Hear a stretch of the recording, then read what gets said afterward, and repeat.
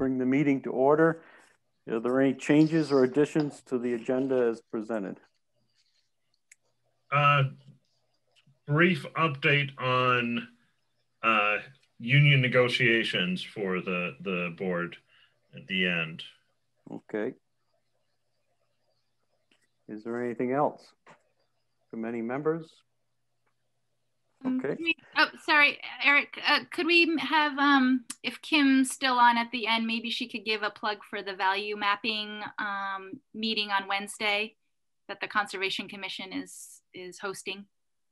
Okay, Thank, thanks for reminding us, Kyle. I can give a little plug for that Okay. if uh, Kim or somebody else isn't available. Perfect. okay. And anyone else? If not, let's go into the budget. Uh, I believe, Brian, you may have a couple of very minor uh, corrections that were found. Yep. Uh, so I'm going to share my screen here uh, for the board and for everybody else.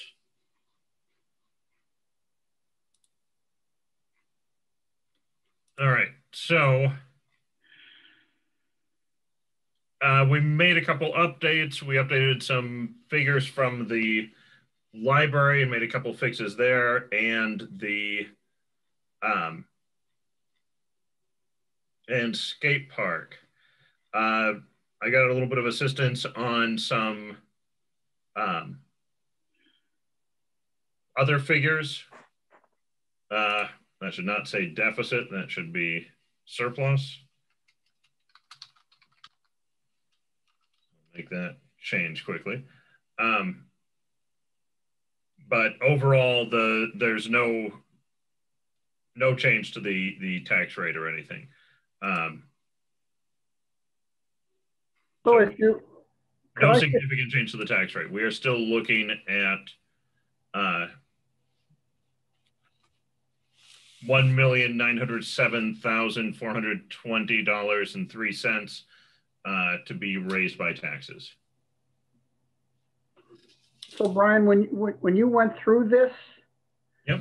Um, and you said there's some library and some, and skate park and, you know, just scrolled through, were you just going to the bottom line or trying to show, I'm unable to print that, so I have no idea what those changes were. Okay, I really just went to the bottom line. Uh, this is Okay, almost what you saw at the last uh, select board meeting, but I was able to make a couple updates. Uh, also, we have I got better numbers for uh, the capital equipment fund, so that had had a little update to it too, with slightly more accuracy, uh, but it should not have a significant effect on the tax rate. Um, let's see what you got in your packet. Um, it is the same proposed amount that you got in your packet. Um, you know, which leaves us at Mike, uh, Brian, can you mute everyone, please? Except for board members? yeah.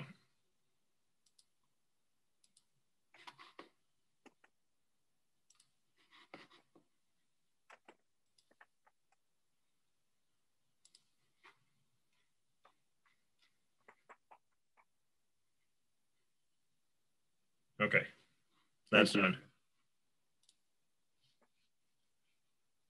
All right, so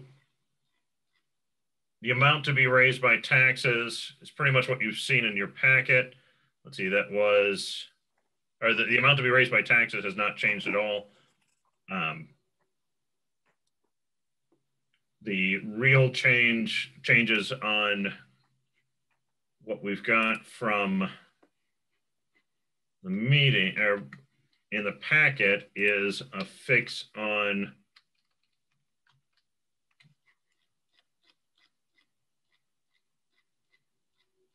jumping ahead here is just some labeling uh, that the labels and numbers didn't line up on uh, what this described as our raise amount to be raised by taxes in FY21. It was correct at the top of the page, but in this summary, it was incorrect. uh, and the interest numbers are updated. So very, very little has changed. Okay. Uh, and no significant changes and no changes in uh, taxes from what you've seen.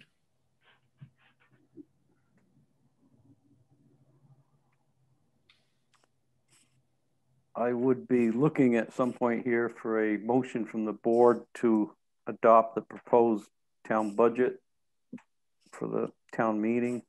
In a second, then we can open up for discussion of board members as well as uh, uh, in the public before we vote. So move, Mr. Chairman. We have a motion. Do we have a second? Second. Okay. Is there any board members discussion and or even amendments could be proposed if they felt they want to change something? I just wanted to um, just double check that Brian, you had Susan and those second and third set of eyes on this, like we discussed. Yes. Uh, Susan has not personally been able to, uh, but uh, I got some assistance from Beth Foy and uh, some of the library board members uh, were able to take a look at it. Um, it is still not as many people as would see it on another year. Uh, the auditors are not in the office this year, and they normally give it a pass.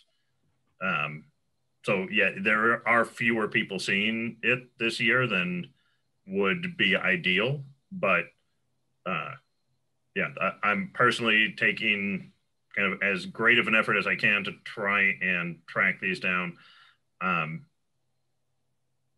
and when I make the changes from the working copy to the print copy, uh, I'm going to get another set, another couple, uh, a little bit more help on looking it over too, because uh, we've had errors introduced at that stage before too.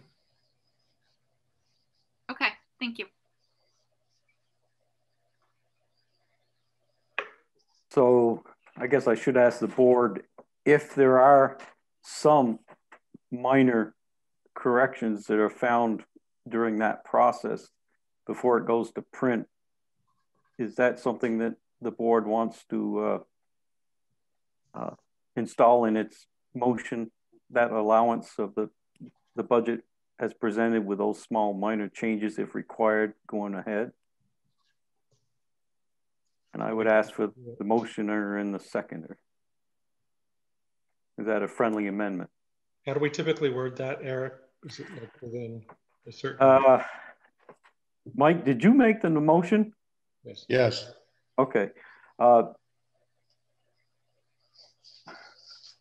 uh, see, how would a good way to make that motion be?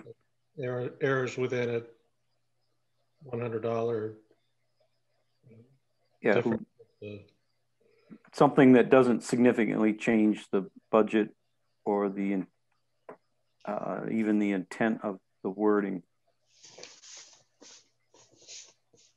So what did I just say? I think what'd you say? Within a hundred bucks of the of the net, yeah. Okay. I'll change it. I'll change it to that. That's a friendly, considered a friendly amendment. Yes. And who seconded the motion? I, I seconded it. It's friendly. Okay. Is Donna here? She yeah. is. Yeah. We'll make sure that we're making sense to her. And then just a question, what if it goes over that amount, then what, what do we do? We'd have to have a special meeting. Okay. Okay. Any other board member discussion or questions? And if not, I'll open it up to public. Okay. Uh, if there's anybody in the public who'd like to speak to the budget, please raise your hand. Um, you can do that with a virtually uh, under the participants tab. Uh, there's a raise hand button. Um, if you raise your hand on your camera, I hopefully will see you, but the, the, the button is the most reliable.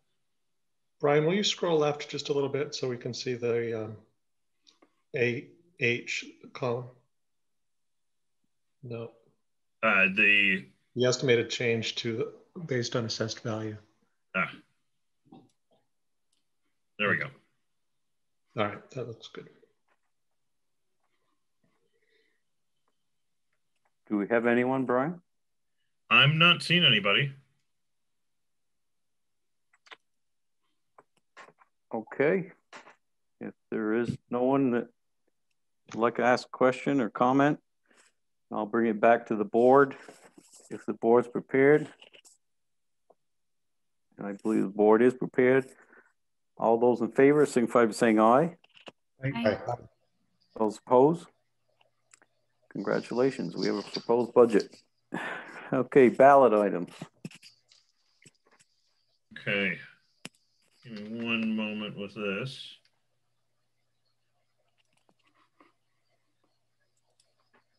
Oh, We got chat on again. Okay, chat is disabled.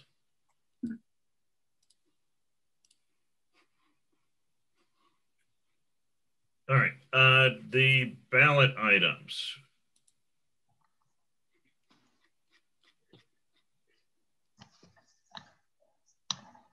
So we have for the ballot, we have, uh, I'm just going to run in order as it appears on the ballot. Um, so this might not get to some of the ones that people are most interested in uh, till a little bit later, but let's do the appropriations as a block. Uh, we have an increase for uh, the Lamoille Home Health and Hospice, Clarina Howard Nichols Center, and the Red Cross. Then we have new appropriation requests for the North Central Vermont Recovery Center and Salvation Farms. Um, no changes to what you saw last week, but uh, I wanted to run through that again. Um, the Is next, there any, before you continue, Brian, is there any board member who wants to stop, put a hold on any of those proposed articles as presented? If not, we'll just continue right down through. Okay, I'm not seeing any heads moving. Go ahead, Brian.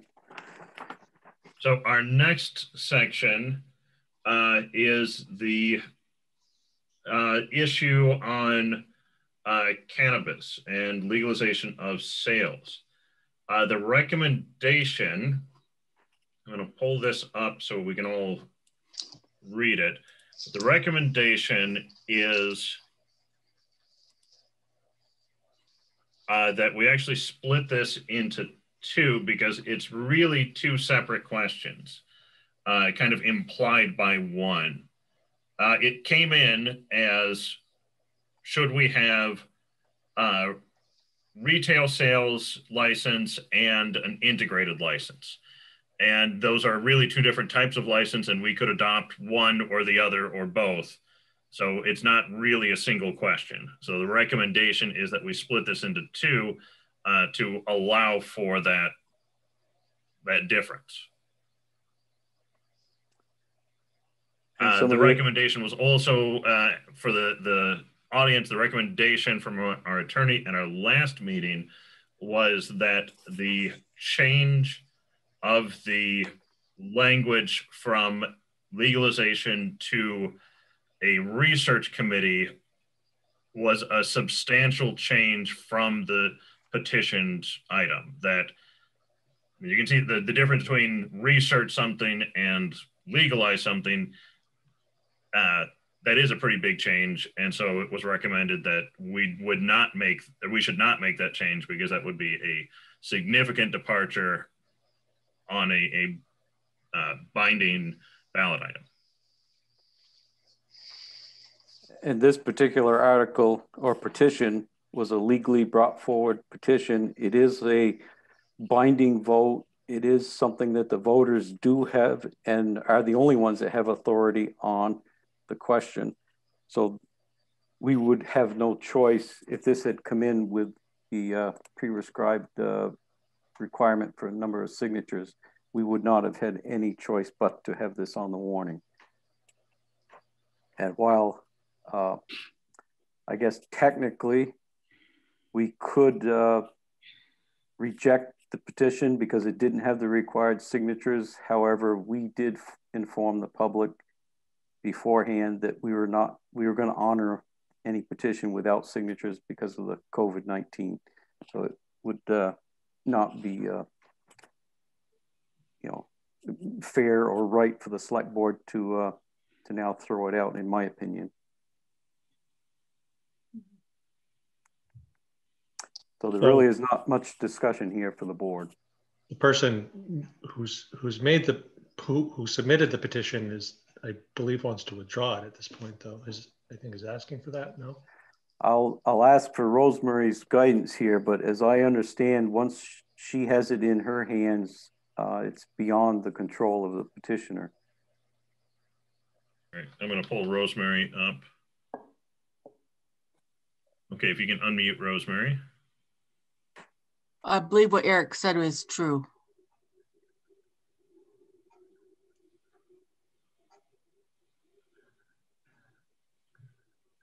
Uh, Mike? I don't think we should believe. I don't think that should be a proper answer. I think we should know one way or another, not just believe. Uh, do we have a, a, book, chapter, and verse on that? When I say I believe that to be the case, that is the case, and I was asking for confirmation from Rosemary. Okay, so you you're using the word is believe as a true fact then? Yes. Okay. Just want to clarify that.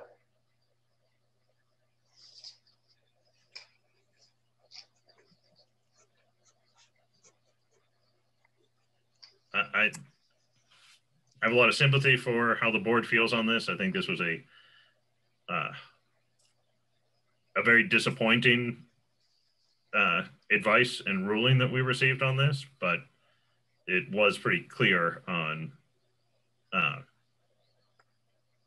on what our options are, which are is not much.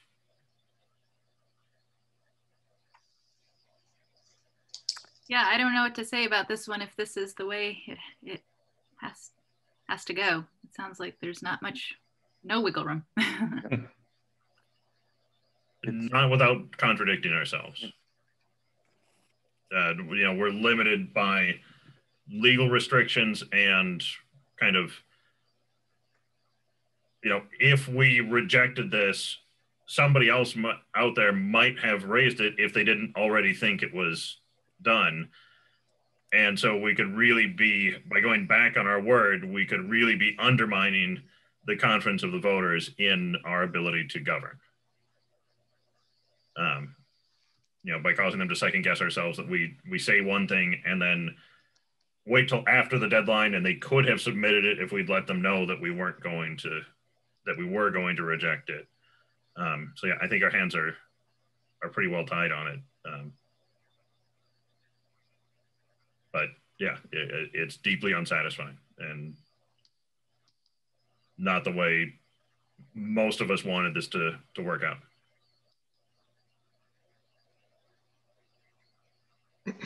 Uh, Mike?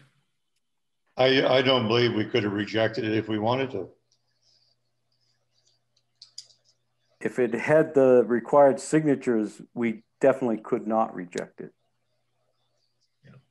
Well, because yeah. it didn't have the signatures any other year. Uh, if it did not have the 5% of the voters, we could reject it out of hand because it didn't have the prescribed number of uh, uh, voters' signatures. Well, we all, the board all works by consensus and when a vote is taken, it is the, the will of the board, but I did vote against that particular thing. And so, you know, for, to make a statement, I reject it. I mean, I, I can't uh, speak for the rest of the board and I'm sure the board won't go along with me, uh, but I want it to be on record that I would like to reject it. Okay, so noted. Anyone else?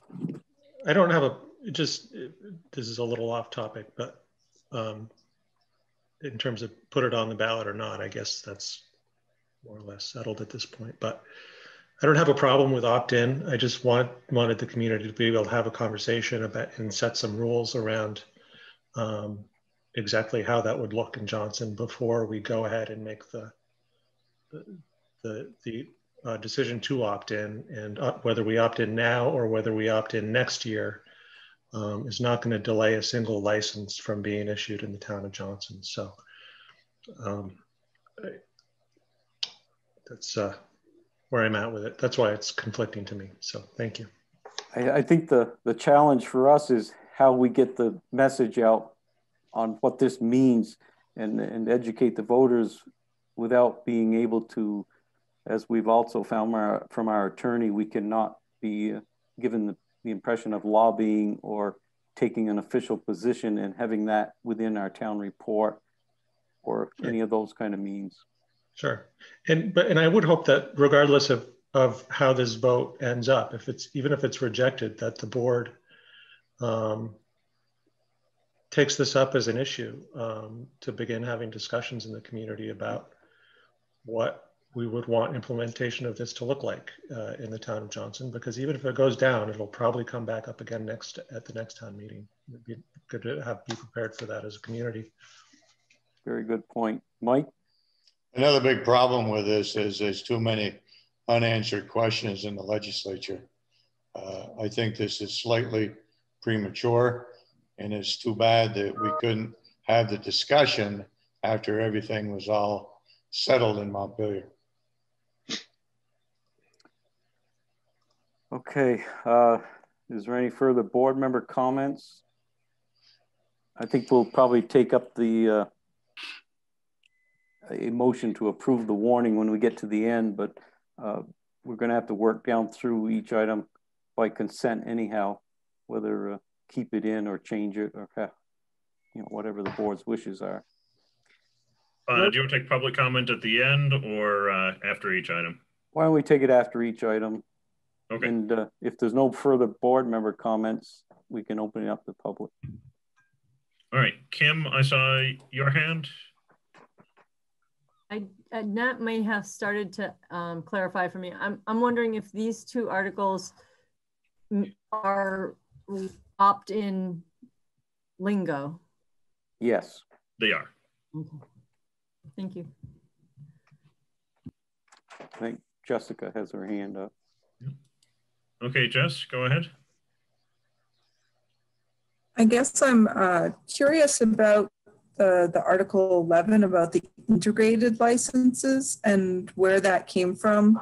Um, just looking at Act 164, and I, just so everyone knows, I'm here with my uh, my Johnson taxpayer hat on, not as my work hat. Um, and that says an integrated license. This is uh, 909 integrated license. So an integrated license shall allow the licensee to engage in the activities of cultivator, wholesaler, product manufacturer, retailer, and testing laboratory as provide, provided in section 904 through 908 of this title. And then it says in part B, which is the my really is where my question is, an integrated license is only available to an applicant and its affiliates that hold a dispensary registration on April 1st, 2022.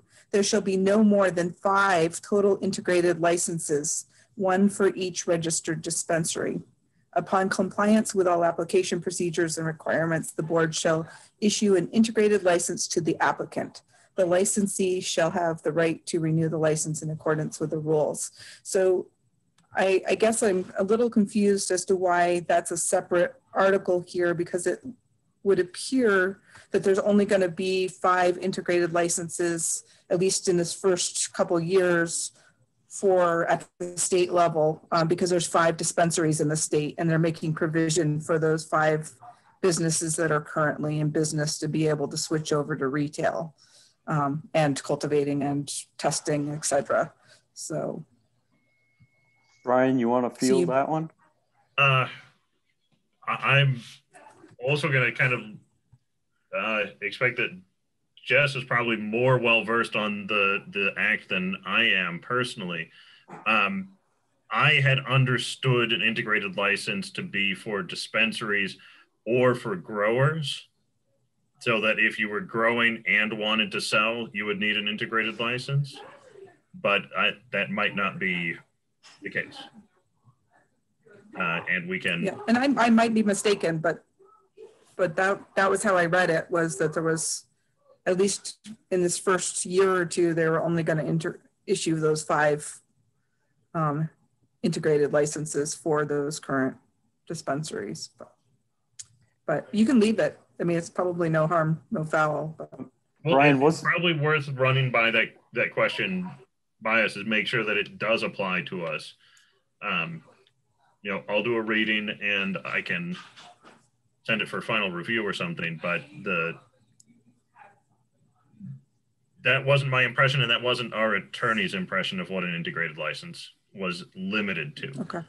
Uh, but it's a pretty new act, so uh, we could be we could be wrong. Uh, and like I said, I would yield. Yeah.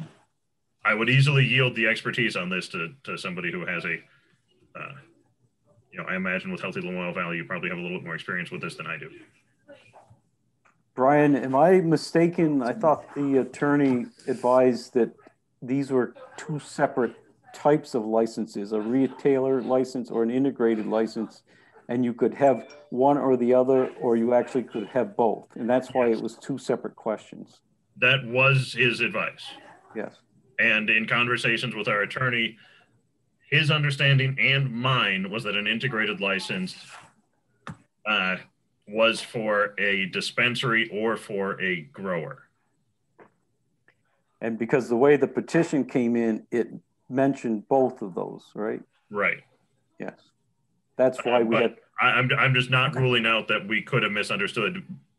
Maybe integrated licenses have a, a narrower scope than we understood them to. Uh, I'd like to follow up on that, but I, I don't think that's the case, but I, I could be wrong. There's lots of misunderstandings and interpretation around the state. So um, definitely, you know, go back and ask because it's, I've been in meetings where lawyers have, you know, both had differing views on it. So it's, this, the, this is still, there's a lot open for interpretation ar- around this Act 164 and what things mean. So, um, yeah. yeah. I think Shane's got his hand up. Thank you, Jessica. We'll, we'll follow up on that. Yeah. Okay, Shane? Uh, hey there. Um, my understanding was the same as Jessica's that the integrated licenses were um, for dispensaries, existing dispensaries, um, and that they were only going to have five uh, for the time being, and that those five were going to go to the existing dispensaries. So, um, I again, you know, we could be wrong, but uh, that was my understanding, and that's that's what I've heard from a few other people who are are knowledgeable on this issue. Um, but uh, yeah, I, I, you know, I am happy that this conversation is happening, um, and I, uh, I kind of understand that, uh, you know, the legal advice is that the board has to treat this like a petition that had all of the signatures on it. Um, but I do wonder if uh, you know it's not too late to withdraw this and uh, to come back to this conversation at a later time and uh, you know have have this conversation like we've been talking about, um, but do it in a way where we can make sure the language is correct, uh, where we can make sure that you know we're, setting it up in in the proper manner um, and not you know the, the, the split question and uh, you know the, the way everything is is shaking out is um, you know, not exactly what I was going for. So um, I'm just interested to hear Brian's take on that. And My, my big concern about withdrawing this or, or if the select board rejected this petition on the grounds that it didn't have enough signatures. Um, that is something that the select board could do, but that would be going back on their, on the commitment that they made earlier. And it's possible that uh, somebody else might have raised this petition uh, or might have gone out and gotten signatures if we had not said, you don't need signatures for this. You know, we'll take up this up uh, when you submit it to us. So we, we kind of made the commitment that we would honor these as though they were completed petitions. Uh, and changing direction is, uh, yeah, I I think I think it would really undermine the public's trust in in our ability, uh, which i- is essential for us for conducting business. Mike? Shane, when did you turn this in? Um, I would have to check the email to figure out the exact date, but it was um, maybe what a week before the deadline the board had set. Brian, um, trying to find the email right now. It, it was about a week before the deadline. It, it, was, it may have been as late as the Friday before the deadline, but it, it was a, a, about a week. Well, I think it's kind of a stretch uh, to think that if Shane hadn't uh, put out a petition, somebody else would have. Uh, that's getting pretty close to the wire. Uh, on a normal year, to have that amount of uh, signatures on a petition, uh, I think uh, in light of this different and strange year for doing business, and when the petitioner is right here uh, this evening at this meeting, trying basically imploring us to uh, withdraw this petition. I, I, think we ought to uh, concur with the petitioner and withdraw the whole thing. Uh, Mike, are you making that a motion? Yes, I am. There's a motion on the floor. Is there a second? Lacking a second, the motion will die. The motion dies for lack of second. well, I have a question, if I may. Go ahead, Nat. Um, I'm hearing a lot of confusion among knowledgeable, fairly knowledgeable people in the room, and even someone who's consulted an attorney, the town attorney, about what this integrated license thing is. So if we can't figure it out, but we're going to put it out on a ballot for people. We don't know what the legal ramifications of this are. I'm very uncomfortable putting that on a ballot, that second part of the question on the ballot, with so much ambiguity and misunderstanding about lack of clarity about what it means for the community. And I'm not sure that that was even the intent of the petitioner at the time when he, uh, Shane, wasn't, I'm not sure if that was the intent of Shane at the time when he when he submitted this to include integrated licenses. So I, I'm not sure that's in the spirit of what he had intended.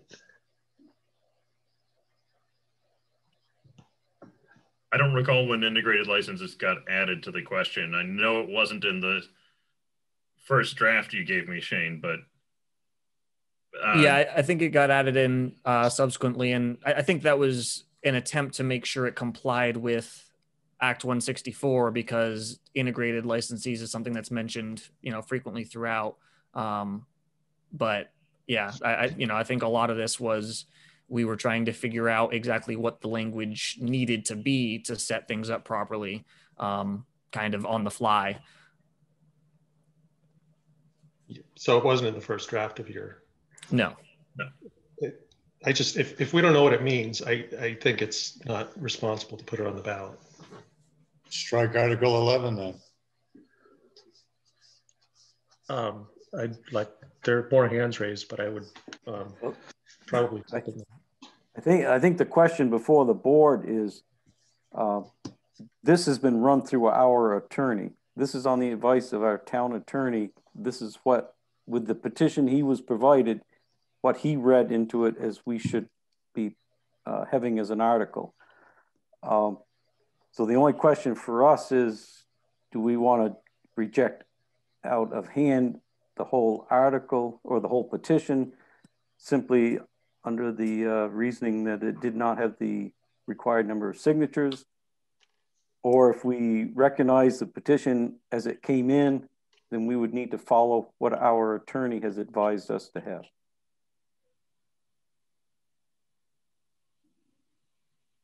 So there's a direction for the board one way or the other, but we.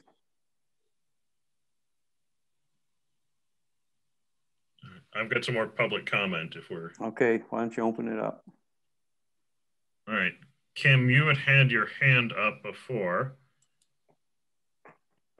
I was just going to ask that if it ended up being on the ballot, that at the informational um, session that you the, the town select board could have someone who would speak to pros and cons of such an amendment or such a you know implication what the implications would be thank you Thank you. And uh, Leah, Yes, hi. Um, I would like to get some clarity to this option of withdraw um, the petition. Um, I if if the petitioner has the right to withdraw, um, I kind of agree with Mike. Um, I remember the last discussion on this topic, there was a discussion about even changing the article to establishing a committee to study this. Um, well, I don't think anything prevents the select board to do that outside of the um, the article and on their own initiative. So, so if we have a situation that the petitioner wants to withdraw, and yet there was a discussion about having an article that would look differently, um, I, I, I don't see much point keeping it uh, on the ballot. Yeah, Leah, the one problem with that is once the petition has been handed over, the petitioner does not have the power to withdraw their petition. Okay. Thank you, Eric.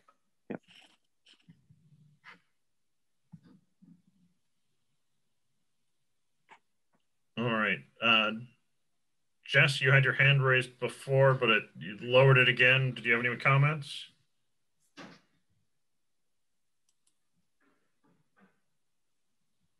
Kind of.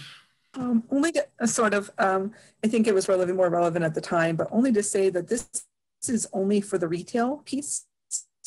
If somebody wanted to to grow and become, you know, an, an agricultural grower of cannabis, that's a whole different process, and they could still start that process in this upcoming year. So just so people understand what we're talking about, this is just the the retail bricks and mortar store, um, at least with Article 10. So. Okay, thank you. Okay, and Eben,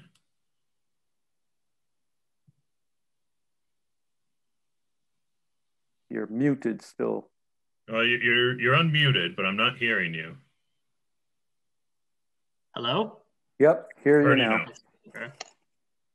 Even though the petitioner can't withdraw the petition themselves, um, can't the select board select the wishes of the petitioner? If they're wishing to have it removed, you guys could. Being that they didn't have to have signatures, it was a single point person of wanting the petition. If that single person wants it removed, I think the select board should honor those wishes and remove it from the ballot it's a good conversation topic for next year. I'm not arguing that. I'm just saying respect the wishes of the person. It's a very unusual situation this year because we didn't request signatures and we said that we would honor it if there weren't signatures. There there are no signatures on it. I Um, understand that. I guess I'm just saying you honored it, um, but being that it's not what the petitioner wants now, you should also honor that as well. Well- It didn't end up being what they wanted. if we're honoring it as a petition, we have to take it away from it's not just if, if it was a regular petition, we wouldn't have the option of rejecting it. The only reason that we have any options this year are because we had said that you know you didn't need to collect signatures, but if you did collect signatures, we wouldn't have those options. Uh, so it's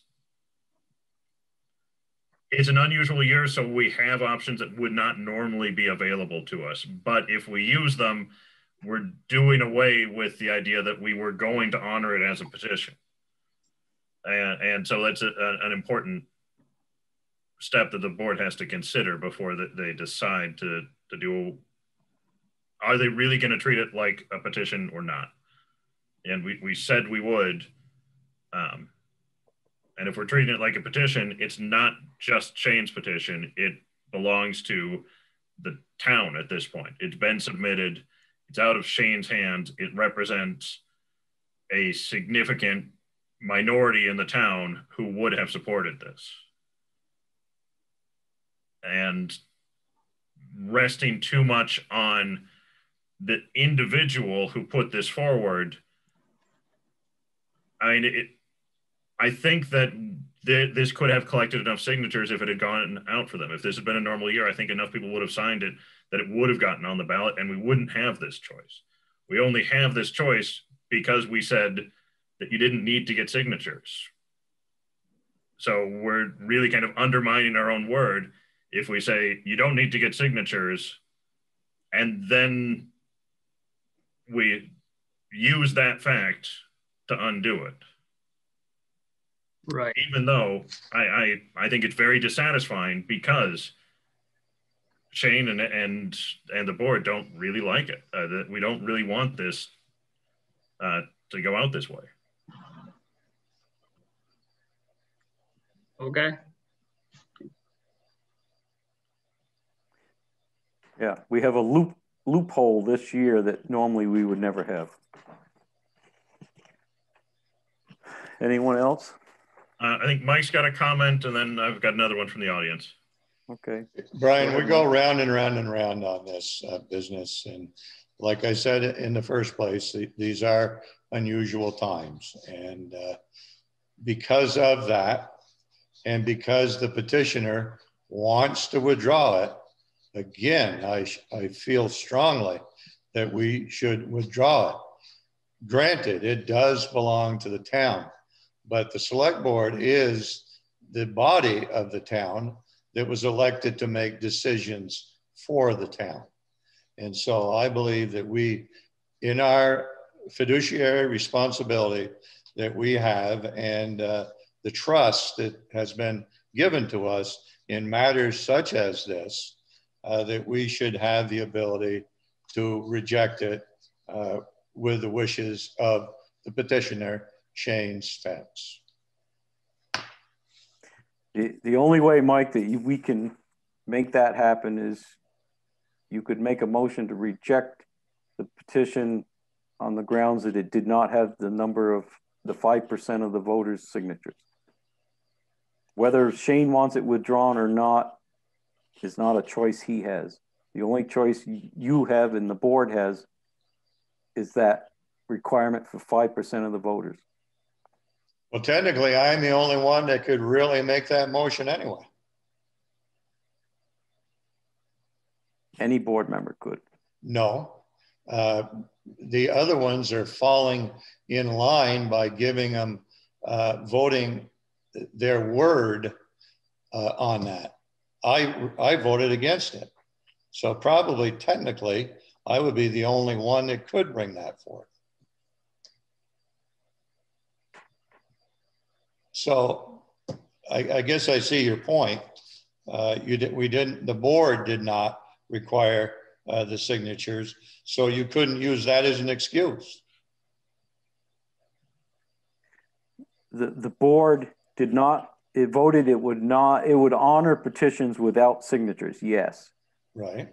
And technically, we could use that against the petitioner right now and if the majority of the board wanted to to reject this petition because it didn't have the required number of signatures, even though we did agree we would honor it. Okay. I'll make the motion because uh, the uh, the amount of signatures uh, were, were not given in a timely manner. Well, there is a motion from Mike. Uh, there were not the required number of signatures on the petition when it came in to reject the petition. Is there a second from any board member? Lacking a second, the motion will die. The motion dies. Uh, Nat, did you have? I still want to second that. All right, I'll just second it. This is going to be the easy part of the meeting, by the way. It's just getting harder from here. So let's move on. I seconded it. Okay, we have a motion and a second to reject the uh, petition as presented because of the lack of the 5% of the signatures. Is there any further board discussion before we open it up to the public?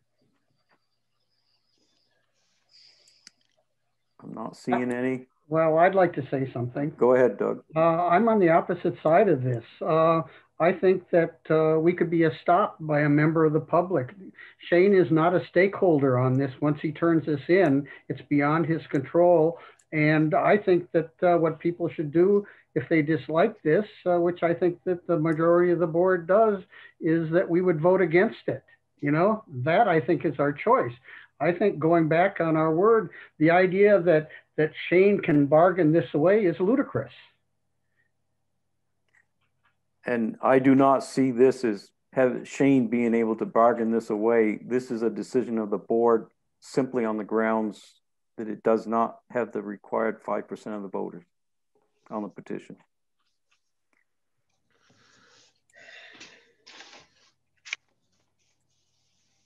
If there's no further board comments, we can open it up to the public again.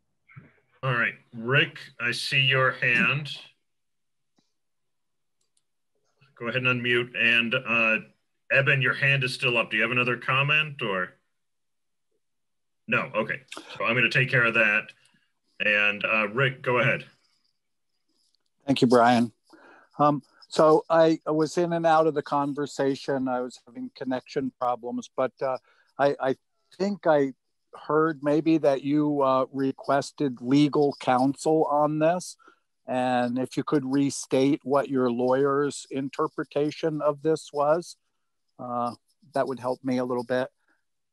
And I do agree with what Doug said, which is that uh, if you don't like the wording of it, then uh, to uh, to try to somehow vote it down.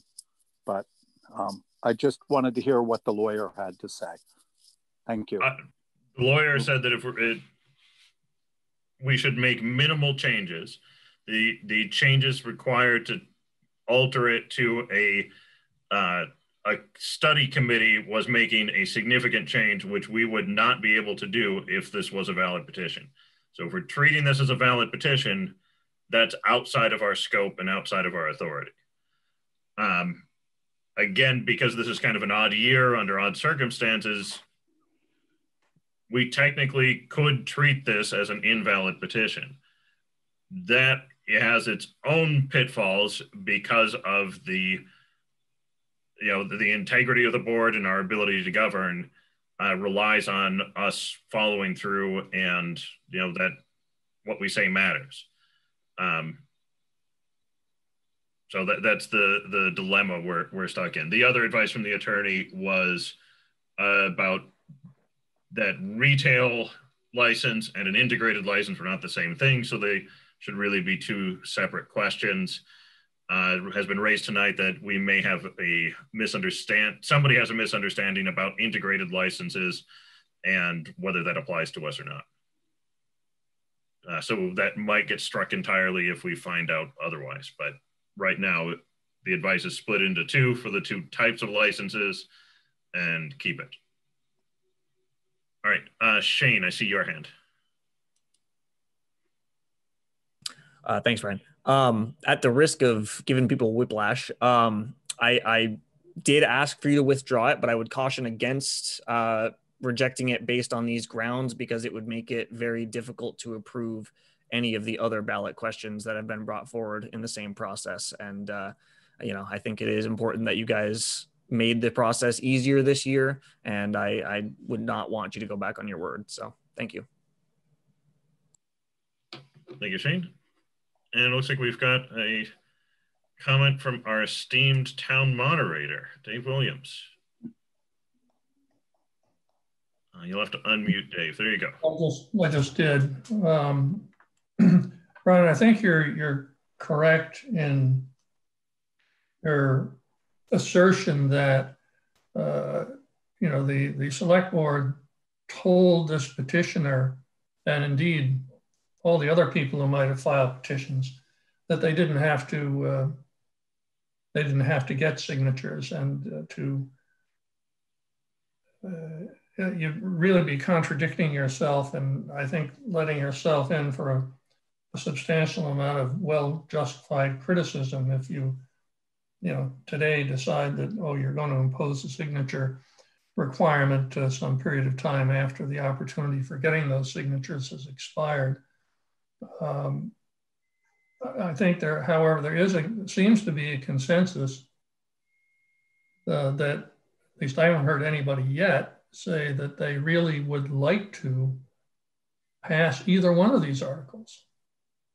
And if the petitioner uh, himself at both informational meetings and in a, in a very public way stated that uh, he wanted this voted down so it could be um, looked at through uh, a clearer lens in the year to come, um, I think it's highly likely that uh, those two articles would be defeated.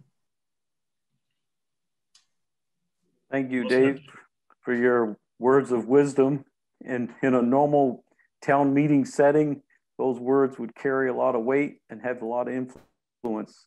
Oh, yeah, and uh, go ahead, Kyle. Sorry, I just, I mean, this is this is why I I asked again for clarification. I think two meetings ago when I said, Eric, is this your interpretation of how we're going to move forward with petitions that they don't require signatures? That unless it's completely outlandish or hateful, they're going to be added to the warning. So um, I know for myself, I feel like that would be a, a real, you know, and you agreed, and um, that that would be a real, yeah, um, very hypocritical of of us at this point. And I I I feel like yeah, the work now is we you know we approve this. The work is for Shane and whomever else to to you know convince folks to vote it down if they're not comfortable with it, and that we should put that that you know we should uphold democracy on our end and trust that the voters will do what they feel is is best you know with their vote use their vote as their voice so that's where i stand on it okay is the board prepared to uh, hear the question if so all those in favor of rejecting the petition as was presented signify by saying aye. Hearing none. All those opposed? Nay? Nay. Nay. Nay. Okay. The, uh, the articles will stand as presented. 10 and 11. Okay. Moves us on to 12. And we'll, we'll get a little bit more detail on, I'll double check the integrated licenses and uh, have a final answer for that before this goes to print. Uh, so we'll put that in with the board's motion on on approving the the ballot pending a, a an oh. affirmation of Article 11. This meeting, we will need to approve the warning. So if there's any changes, we'll need, we, will require a special select board meeting. I suppose we could approve it, and if integrated license is the worst it does is it doesn't apply to us. But why would you think the attorney would have a different opinion than before? If his misunderstanding of what an integrated license means is the same as mine, I know that through conversation, the attorney and I have the same view on what an integrated license means. I'm not an expert on that. So, okay. You know, Jess suggested that it means something different. Shane concurs. Not having the attorney here and kind of having to rely on my personal interpretation of it, I'm not as confident on my personal knowledge about uh, exactly what an integrated license means. I, I just expect at some point tonight we will approve some wording of some kind of a warning. Yeah. And uh, if there is any substantial change, yeah, the worst case scenario, if we leave it in and an integrated license doesn't apply to us, then simply an integrated license doesn't apply to us. And we'll have and to have so, a special select board meeting to take that question out. Yeah. Okay, uh, the merger question, Article 12. Uh, I think Mike's got one more oh. question on, on, Article 11. Go, uh, go ahead, Mike. Doug and David, uh, you had very uh, compelling uh, points and reasoning uh, this evening, and thank you very much. And Mike, you got some free legal advice. I know. I love it. Two attorneys working together. All right, okay. Article 12 as written. Uh, shall the select board work with the Village of Johnson trustees to create a merger plan? Uh, and I believe that we've got a request on changing the wording on this. Yeah. And this is an article that the select board is bringing forward on its own authority. So we can change the wording of this one yeah. and are well within our right to do so. And I think Doug had a proposed changing. I, I had given that to uh, Brian. I think he has written down now, or I can I look do. for my notes. Okay. Give me just a second.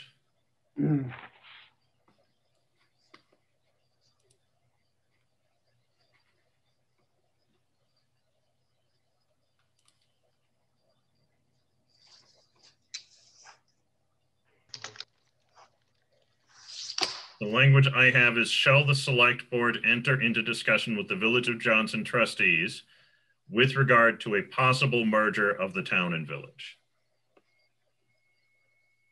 You read that one more time, Brian? Sorry.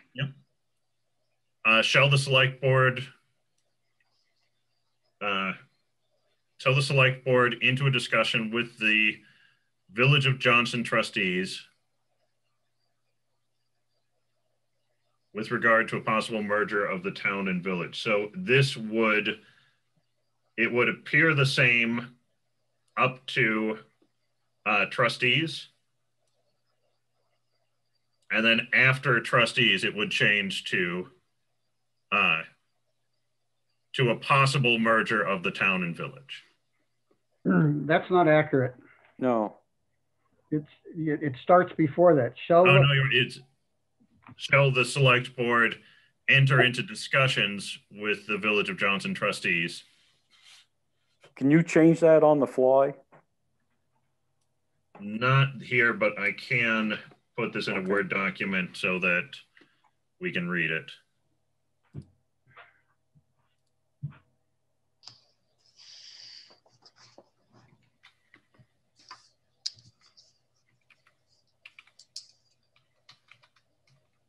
Oh, we're waiting for that. Are we, we are definitely putting the merger study in the town report? Question. Uh, as I understand it, yes. Okay, I think that's going to be super important. Have we received it yet, the final from the consultant? Yes. Okay, good. Thank you. And would we, I don't know if we should consult with the trustees before we do this, but um, put that merger study on our website. It seems like with five weeks until town meeting, we should, uh, the town meeting vote, we should get that out to the voters as soon as we can. Uh, I think I'm fine putting it up on, on the website. We've seen it and And it's going in our town report. yeah.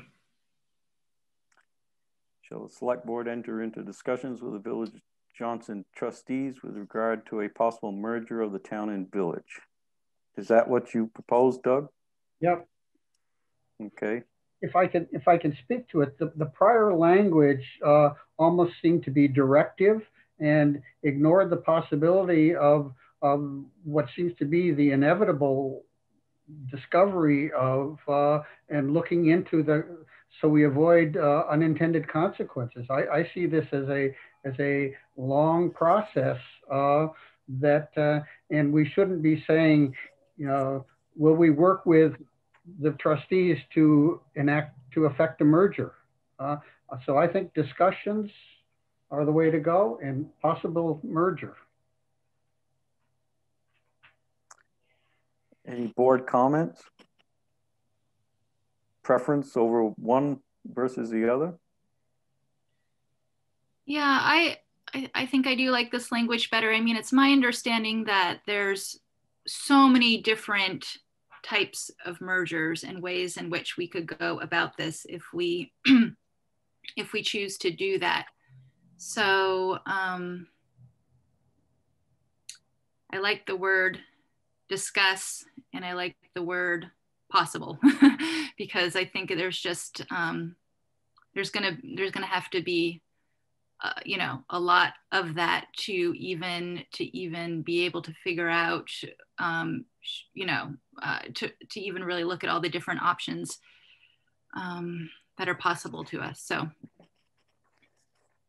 I feel let me, let me ask it this another way. Is there anyone who does not like this language of, of the proposed by Doug? And is there a full board consent on putting this into the warning? Yes. Okay. Um, if, I'll open up to any comments from the board. If there is none, then we can open it up to any comments from the public. I'm not seeing any. Uh, I do see Kim has got a question. Okay. Okay, you'll have to unmute Kim. Yeah, I'm just wondering if one idea might be to put a front porch forum post that talks about um, this, uh, or maybe not even put this, but ultimately gives us a link to that information so that um, we can click on it and get that um, the merger information in front of us. Yep. I, I think that would go along with go. I think it'll be good to do in conjunction with putting on our website is make people know uh, known that it's on our website. I don't think uh, I don't think we will check our website all that regularly. So all Thank you. All right, and uh, Diana.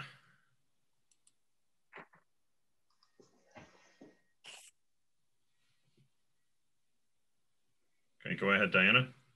Um, I'm just speaking as somebody who, um, if I saw this come up on the articles, I would think, well, gosh, how is this different from that thing we voted for not that long ago to look into a merger between the village and the town? Um, I guess that I would like to know how what I'd already voted for fit in with what was going to be happening next. Yeah, Diana, uh, good question. And that is something we're going to have to get out there. Is the question you voted on before was the town and village hiring a consultant to look at all of the town and village departments and jobs and functions and everything and see if there was uh, reasons or, or room uh, to you know realize savings or the benefits and the and the, pros and cons of merger or not. That report from the consultant has been completed. That will be in our town report. With the knowledge of the consultant's report, we're asking the voters with that knowledge, read the report. Do you still think that you want the select board to enter into those discussions with the trustees on a possible merger? There still would be another question that comes before the town and the village voters. When we've completed this work, if the voters ask us to go forward with actually, do you want to merge or not? This is still not, you know, the last vote on whether we merge or not. So I hope that helps. The first question was just on the consultant, hiring a consultant. to do a study on it. Yeah. But Diana, that's a, that's a good, yeah. I, I, to be honest with you, when I first read it too, I had to kind of uh, figure this out in my brain as well. But so maybe could, would it be prudent to add um, what you said, Eric, uh, with the, um, what did you say? Something like with the, with the knowledge of, or with the, um, enter in discussion with the, in regard, something about now that we have the report or with the knowledge of the report something like that so it's so it sounds like this is okay we've got the report now this is the next step now we enter into discussions with with the knowledge from the report If we had the luxury of town meeting, I think we could do that. We could refer to the town report and with the, the consultant's report within. Um, the concern I would get is if we added it into the language of the uh, article here in the warning, it could be seen as uh, pre prejudicial in that we're trying to get people to vote a certain way, but maybe not. If I don't know, I don't know that answer. even though the report the study was third party and was not I, I, Yeah. I- I don't know. I don't know. On this is we believe that it's neutral and that it's a, a good, fair assessment, but that's our belief. That isn't, Mm-hmm.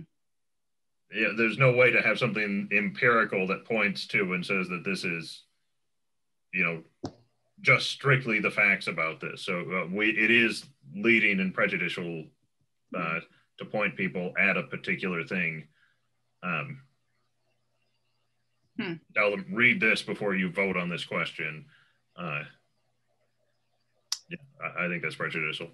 Eric, Mike? we have the study done, correct? Yes. So the whole point was to have this study done, get it into the hands of the voters, for them to digest it and make a decision. Shall the town merge with the village? That's it. Everybody needs to be informed and the question should be simple. Shall the town merge with the village? Period. Uh, any further board comments and then we can open it up. I see Scott's got his hand up. Yeah. If not, once you let, open up to Scott. Okay, Scott, go ahead. Thanks, Brian. Uh, thanks, Eric. So um, an email went out from Meredith after we talked a little bit about the wording. Uh, I've made it really clear that the village wants to have the same language for the village meeting as the town is going to be using. And she wordsmithed um, a sentence on this. And Brian, do you have that where you can just put it up on your little screen here and let people take a peek at it? Just for another variation of the same thought? Let me look. Is it dramatically different than what's up here now? My other computer is in use. I'm actually on another board meeting. so I'm sort of locked into that screen and jumping back and forth. So I don't have it with me. It, it's it seems like it's the same intent, Eric. It just when I read it this afternoon, it just seemed a little bit smoother for the language. Uh, I don't have a, another email from Meredith. The last email I got from her was uh, her signing off on on this version. It was probably in the body before that, Brian, because I did see that come back too.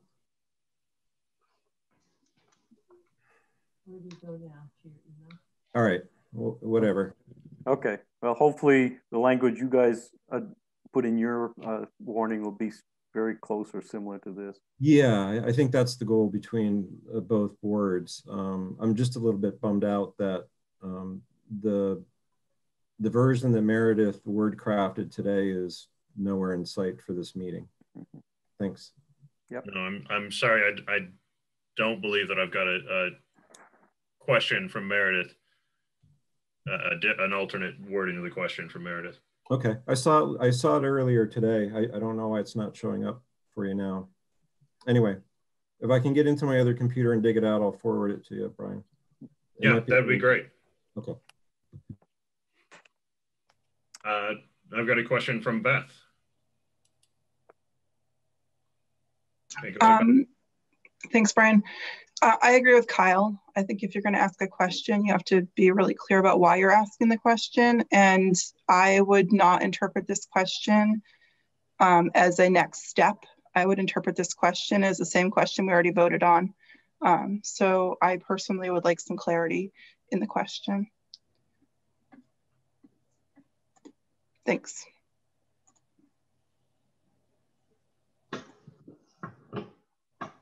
Okay, anyone else? I don't have anybody else from the public.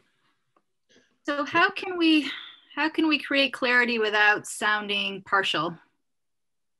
Yeah, I, I think um, you know the the report was an independent report. Right. Uh, and and we worked really hard to make it an independent report. I don't and, and the voters asked us to do it. Um, we didn't do it on our own. So I, I don't see how referring to it at the beginning by saying having conducted a, an independent study of town village merger shall the select board continue discussion with village trustees on this mm-hmm. something of that nature mm-hmm. I don't know. I guess I'll look for Doug or Dave if they want to pipe in.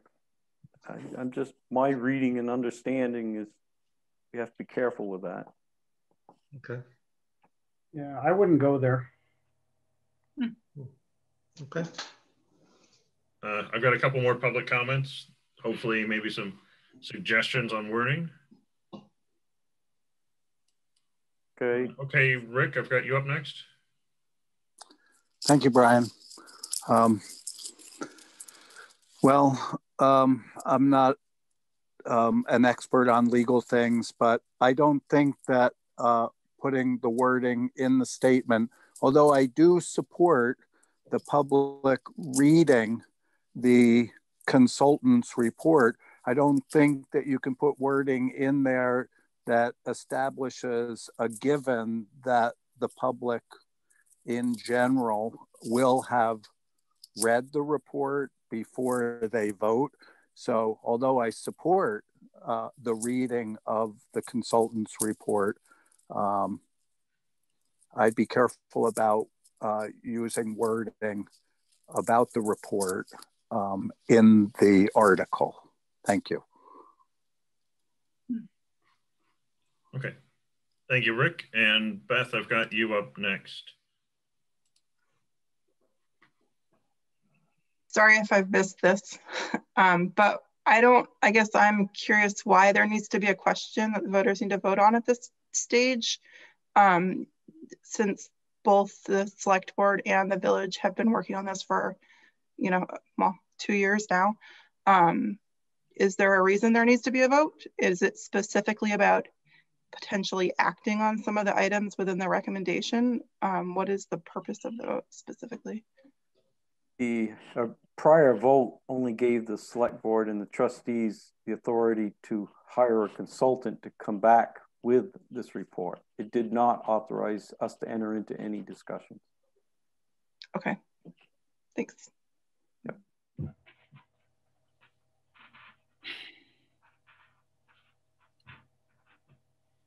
there any further comment for board members or mm-hmm. public? Eric. Go ahead, Mike. Again, I'm going to go right back to one of some of the stuff we had talked about in the first place was getting this report into the hands of every single person in the town and village. If I We lost will. something, are we going to do that? Yes, this report will be in our town report and mailed to every single resident of the town of Johnson. Okay, fine. Like I'm saying, that's what we should have focused on. After they read the report, they should make the decision whether or not they want to merge with the village. Period. Nothing prejudicial about that or nothing leading, just the question. Do, does the town want to merge with the village? Yes or no? I don't see how simple that can get. Well, you're putting the cart ahead of the horse. in- in No, because because they're getting the report at the same time, aren't they? The only re- thing in that report is some of the benefits and pros and cons of, of a merger and what the functions of each uh, municipality's departments are. So you don't think in, in that all of that money that we spent that there's not enough information in there for the public to make an informed decision? I believe there's enough information in that report to inform the voters on do they want to proceed any further. Okay. All right. I maybe, you know, correct me if I'm wrong, but that's my understanding. Well, to me, it would give them a pretty good idea whether they want to move forward with any more discussion, discussion, or just put it to bed and move on.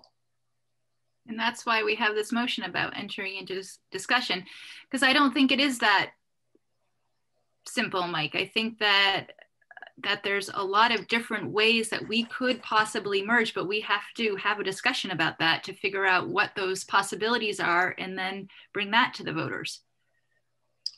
Okay. I'm right. So I'm still grappling with whether uh, I don't know. I feel like, you know, especially people are going to be getting their ballots mostly at home. They're going to have time to look at this report. And if we can just, uh, I don't know, I, I still don't see the prejudicial nature of referring to the report that's in the town report. when to, to create clarity and, and transparency here for this for this question.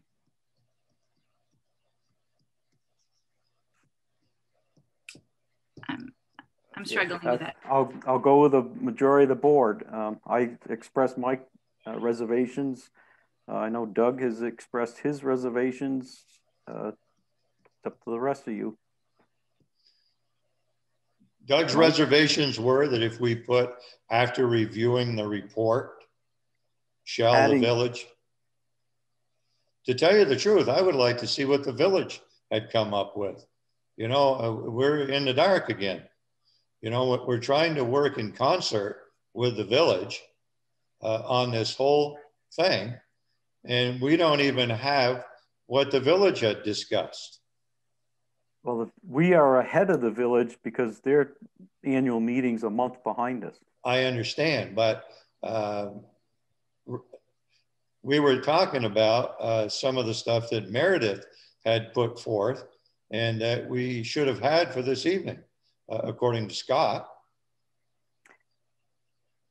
And I think from Scott's, uh, he thought this wording was very close to what she had, but he, he didn't know for exact wording of it. I know, but this, again, this is kind of shoddy, for lack of a better term. Well, we have what we have in front of us. Is Yeah. the board, I'm looking for board comfort level on putting this in the warning or changing the wording. You happy with this, Doug? Yes, I am. Um, you know, I, I recognize that, uh, you know, we had a consultant's report.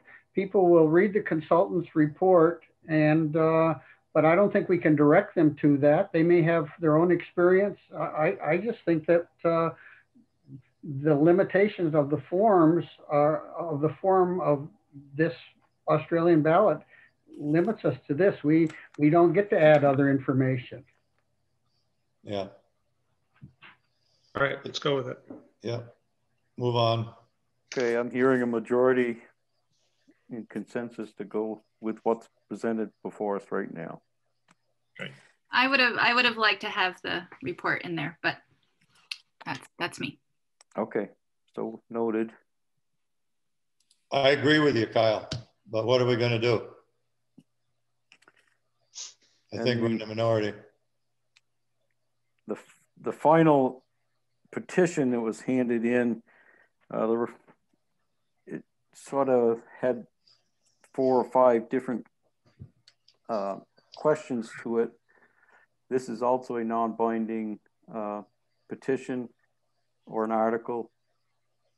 And there was some, uh, we had the last meeting tried to change the wording and we also got word from our attorney that that was not allowable.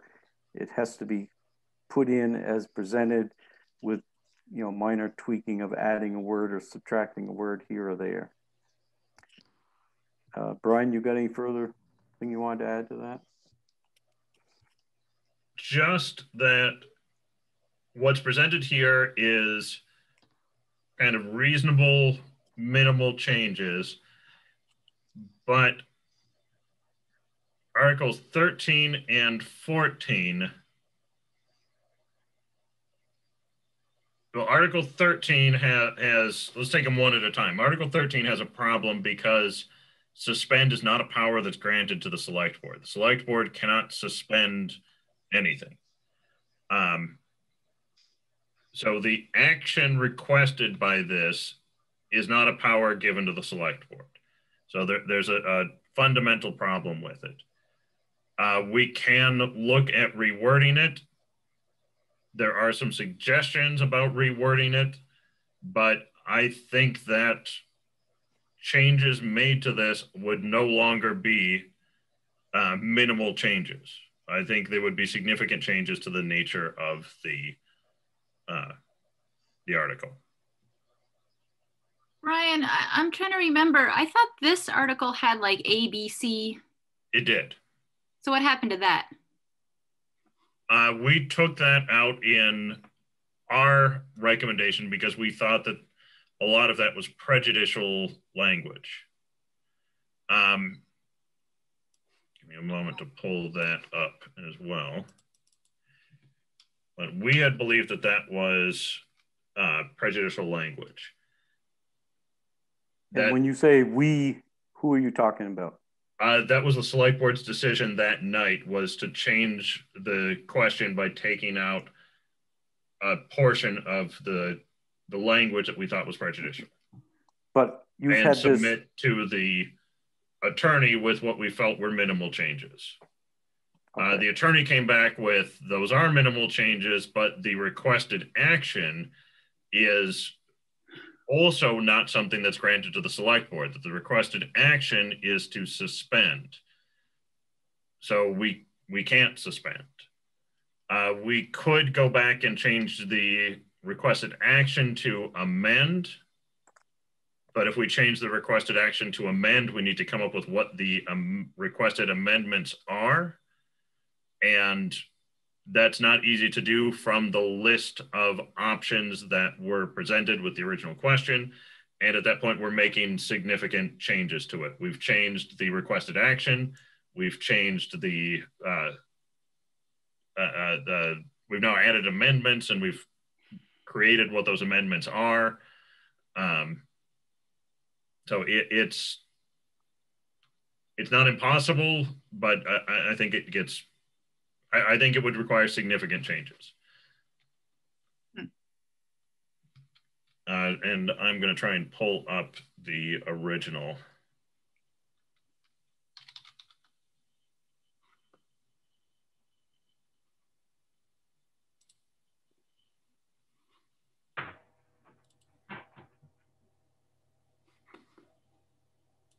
Okay.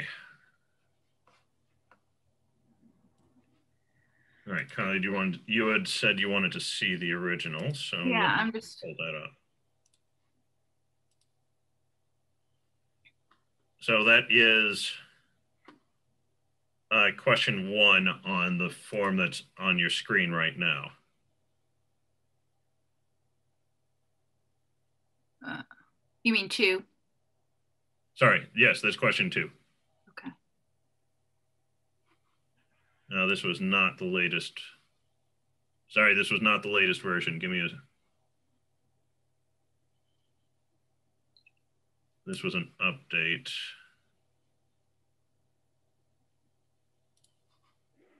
Who made this update? Uh, this was an update from that Kirsten had sent me. So when I was pulling, We have to go back to the original petition as. yeah, we do. I'm, I'm, I've got that now. Okay.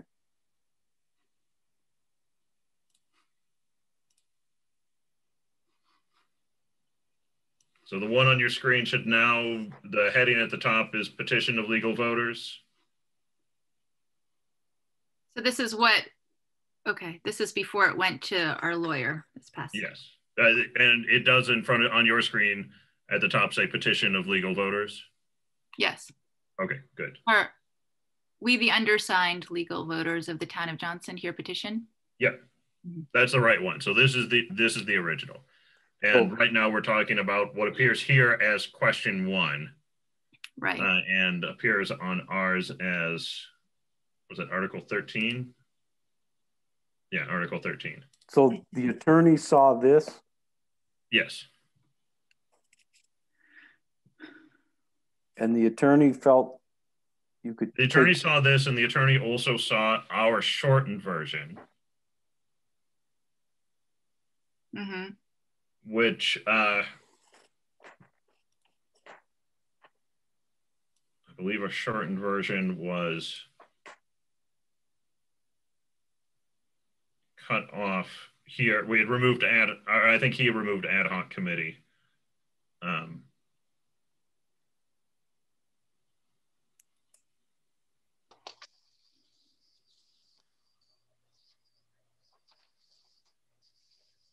but you can kind of see the questions really, it's saying suspend and while it's suspended, do these other things.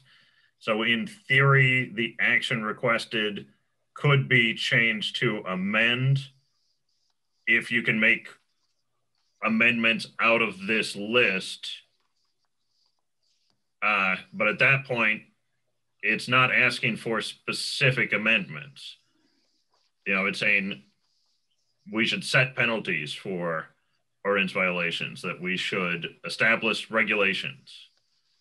Um, so it's really asking us to uh, look at the question over again.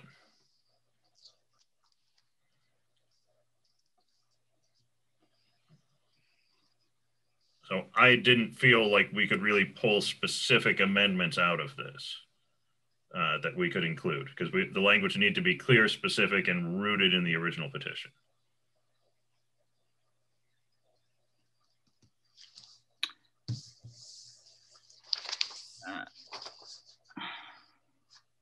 my take on this is that uh, the language about suspending it is, which we don't have the power to do, uh, means that this this is not properly includable because uh, you, you can't suspend even if we even if we went on to amend or do other things, you're still lack the ability to suspend, and those are those are complementary parts of the concept of this. Yeah.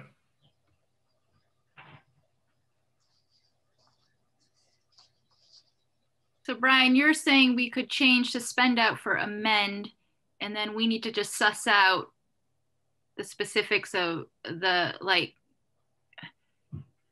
amend da da da da da um, speed limits, noise limits, days and times of allowable ATV use.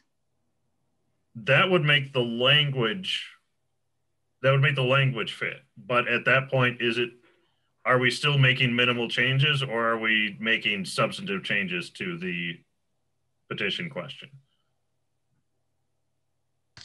And I'm my feeling on on this is that we can't I don't think we can thread that needle, but that's the board's decision of are you comfortable with it? Do you think that you can make minimal changes when you have to change the requested action and after you've changed the requested action, you've got to elaborate on what that new action is. So let me uh, poll the board on this question one. On do you think that we could change this to a format that would be in proper form without significantly changing what was actually presented? And uh, I'm just going to poll each member. Mike? See your hand. I, would like to have uh, as much of the attorney uh, that uh, Brian can share, uh, even the last portion uh, of that attorney's uh, reading, if that's possible, before we go any further. Which, what last reading? What are you? Well, we, we have some correspondence from our attorney. How much can we share uh, in this open meeting here about uh, what we can, what we can and cannot do to this petition.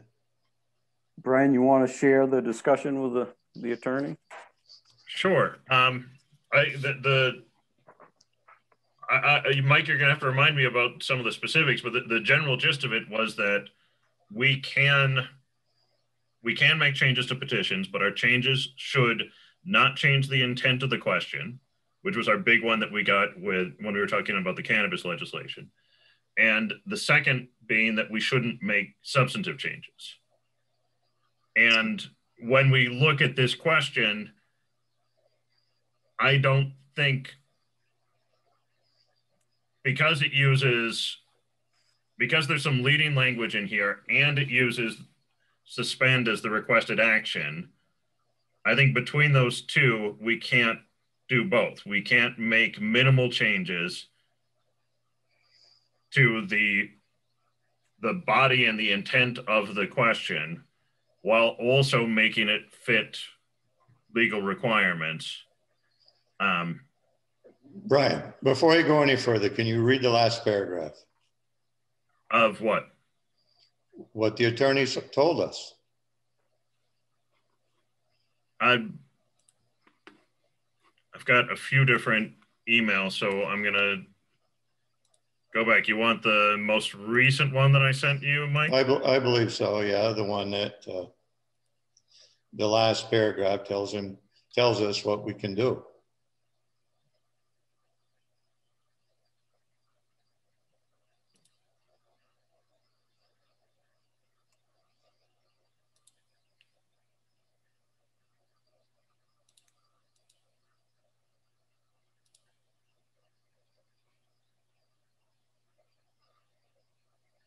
Uh, the my my last was well, it was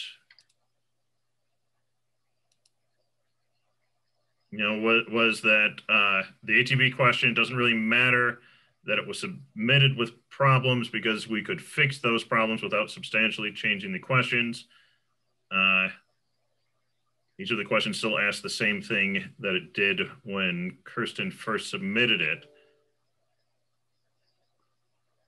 Uh, and that was what we that was what we sent him.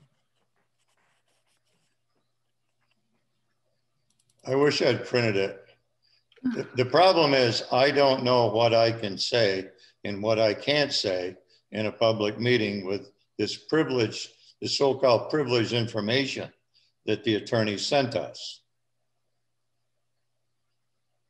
Uh, are you thinking the an alternative for the ATV question that is permitted for us is to reject the petition altogether uh, because we feel too many changes need to be made to it for it to be allowed to be printed on the ballot?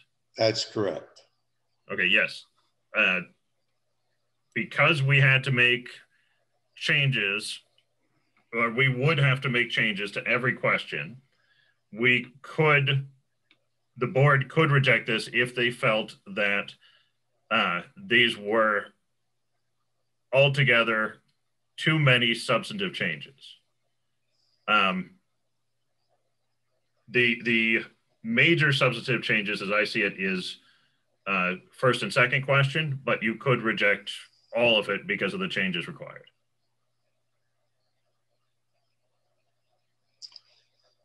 Well, I think the petitioner had more than enough time to craft a proper petition. I think the select board has no business doing major rewrites uh, to somebody else's uh, petition, and I think we should reject the whole thing.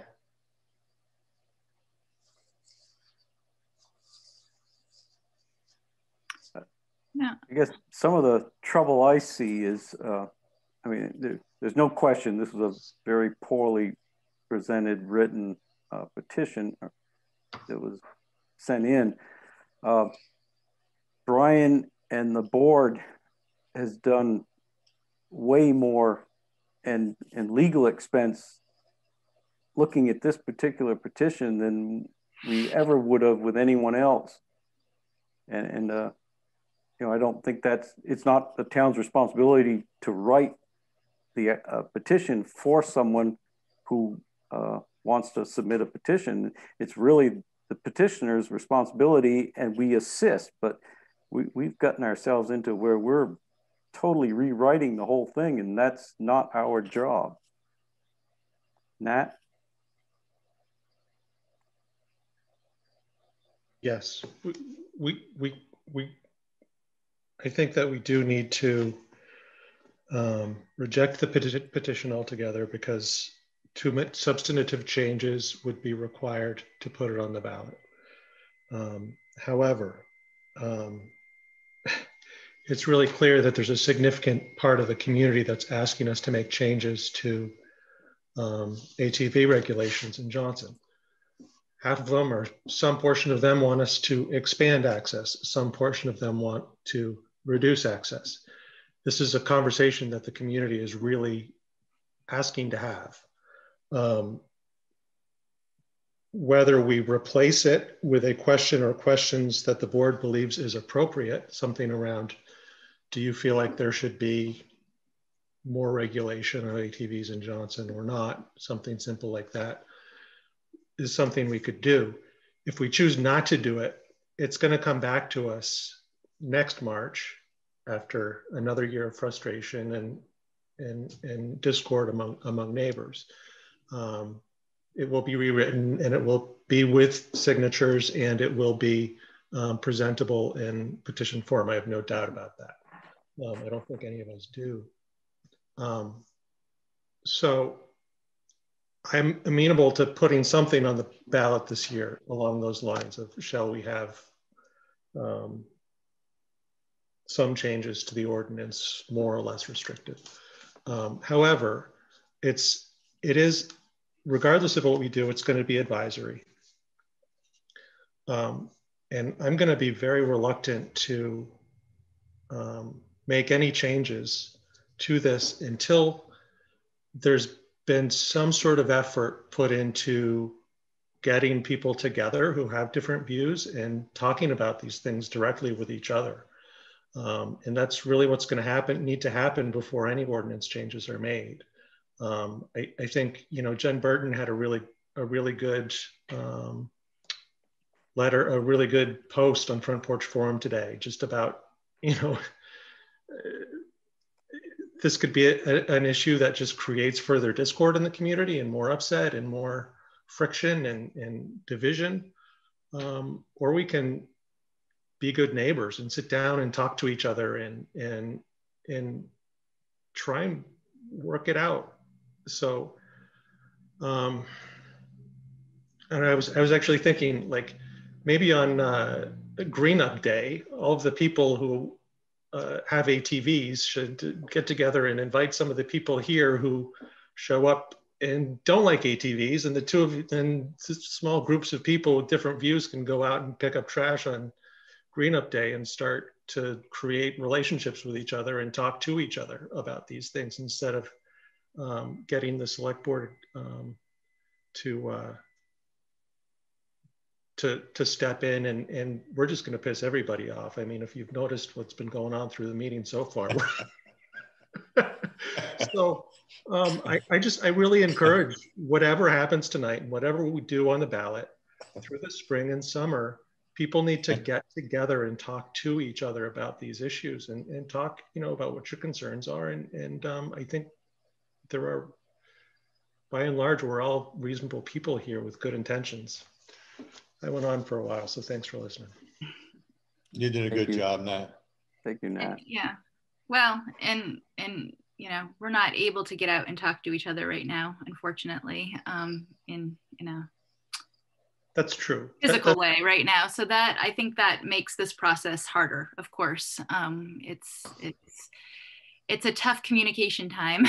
um, it is, Kyle. It, it, and but also it's winter, so there are not a lot of ATVs right at the moment. But it is, and I think hopefully there's a light at the end of the tunnel here, and we'll be getting through this COVID thing, and it'll be easier for us to talk to each other. So sorry to mm-hmm. interrupt you.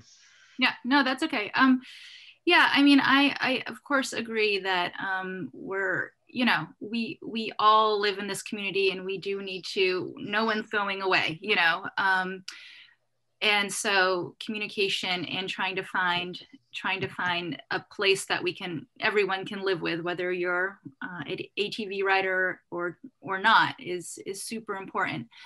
Um, but i just want to sort of bring it back to what's before us right now which was again sort of this commitment to to like we talked about with with the cannabis um, petition that we you know we committed as a board to to include, you know, any petition questions that came to us um, that were not outlandish and that at our last meeting we we did do a lot of of this changing work. So for me it feels like bailing on it now just feels um, bizarre. Like i think we're in we're doing it and we should just we should we should figure out a way to to keep to, to keep our word. Um, and maybe that means for Article 13, we take suspend away and put amend. Um, something simple like that with, um, we haven't really gotten to 14 yet, Brian, with with what what's not working there. This is, I thought this was what the attorney said could be could be put on the ballot. Um, so I, I kind of I feel like we need to I feel like I, I want to continue to commit to making this work um, on the ballot because we said we would. Anyone else? Yeah, um, I think that um, I would start out that uh, the petition says that uh, she want she was to submit following articles one, two, three, four. So I think they need to be treated as separate articles and not as a and not as individual. I mean, not as a as a, a, group. Um, and I think that uh, suspend has a relatively clear word and it doesn't mean a meaning and it doesn't mean amend. Uh, and it's a process that we can't do under Article 13. I think that Article 14 is clearly uh, improvident and beyond our ability. I think that Articles 15 and 16 uh, have been wordsmithed with minor changes and ought to stay. Um, and that's what I think would be true to to our our, our duty, uh, not to propose, uh, not to change too much, not to propose things that are totally beyond uh, what we couldn't make an ordinance, which is Article 14, and 15 and 16. I, I think are are properly worded articles that uh, our our public would uh, would disagree substantial on. I think uh, this ought to, these are advisory, and I think the select board, uh, which will not include me, needs to address this. Uh, you know, if we can't suspend, which we can't, and uh, if, if it's repealed or whether it's not repealed, the issue needs to be addressed. You need to talk, do what Nat is talking about, and you need to open up the communication and need to look at the at the uh, ordinance. Okay, anyone else? Uh, That's reasonable to me, Doug. I think going with 15 and 16 is uh, within the spirit of what we agreed to do um, without doing any, putting anything on the ballot that's illegal. Any further comments from board members or are we prepared to open it up to the public? I still um, say it's a major change, Mr. Chairman. Duly noted. Uh, just uh, something that Nat pointed out, uh, I think this is non-binding advisory only. So no matter how the voters, uh, the vote comes out, it would be uh, nothing binding on the select board. I would just uh, remind the select board that we've already uh, committed to allowing ATVs on a trial basis this next season into the village. And uh, depending on the outcome of that, we would be uh, going into the ATV ordinance.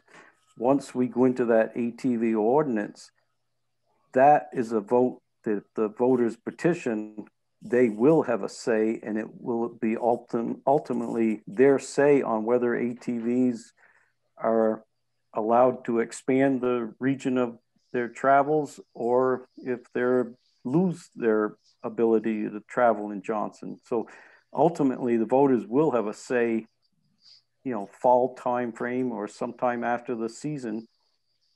And that will be the vote that really counts. This vote is uh, simply a non-binding vote anyhow. But uh, I just did want to uh, remind the board that we had already committed to that after last year's town meeting when the voters asked us to open up the village for access to ATVs. So with that, Brian, why don't you open it up to the public? All right, I've got a few public comments. All right, Michelle, I've got you up first. Uh, go ahead and unmute yourself. What's Michelle's last name? French. French. Hi, Michelle. Hi. So this might be a little long-winded, but please be patient with me. I am an avid ATV rider. I've lived here my whole life and, and my family, my father down to my granddaughter, and like that's what we do. We get out in the woods, we enjoy getting out into nature, and it's a different perspective. And to anyone that questions it, I ask them to just take a ride one time and see what you can see. That's my personal perspective. As a taxpayer, I'm asking, how much have we spent to try to remodify this article that was presented? It was clearly not presented the right way because there's so many questions. So how much taxpayer dollars have been spent in lawyer fees to advise us how to do it when there was plenty of time to figure out how to do it the correct way.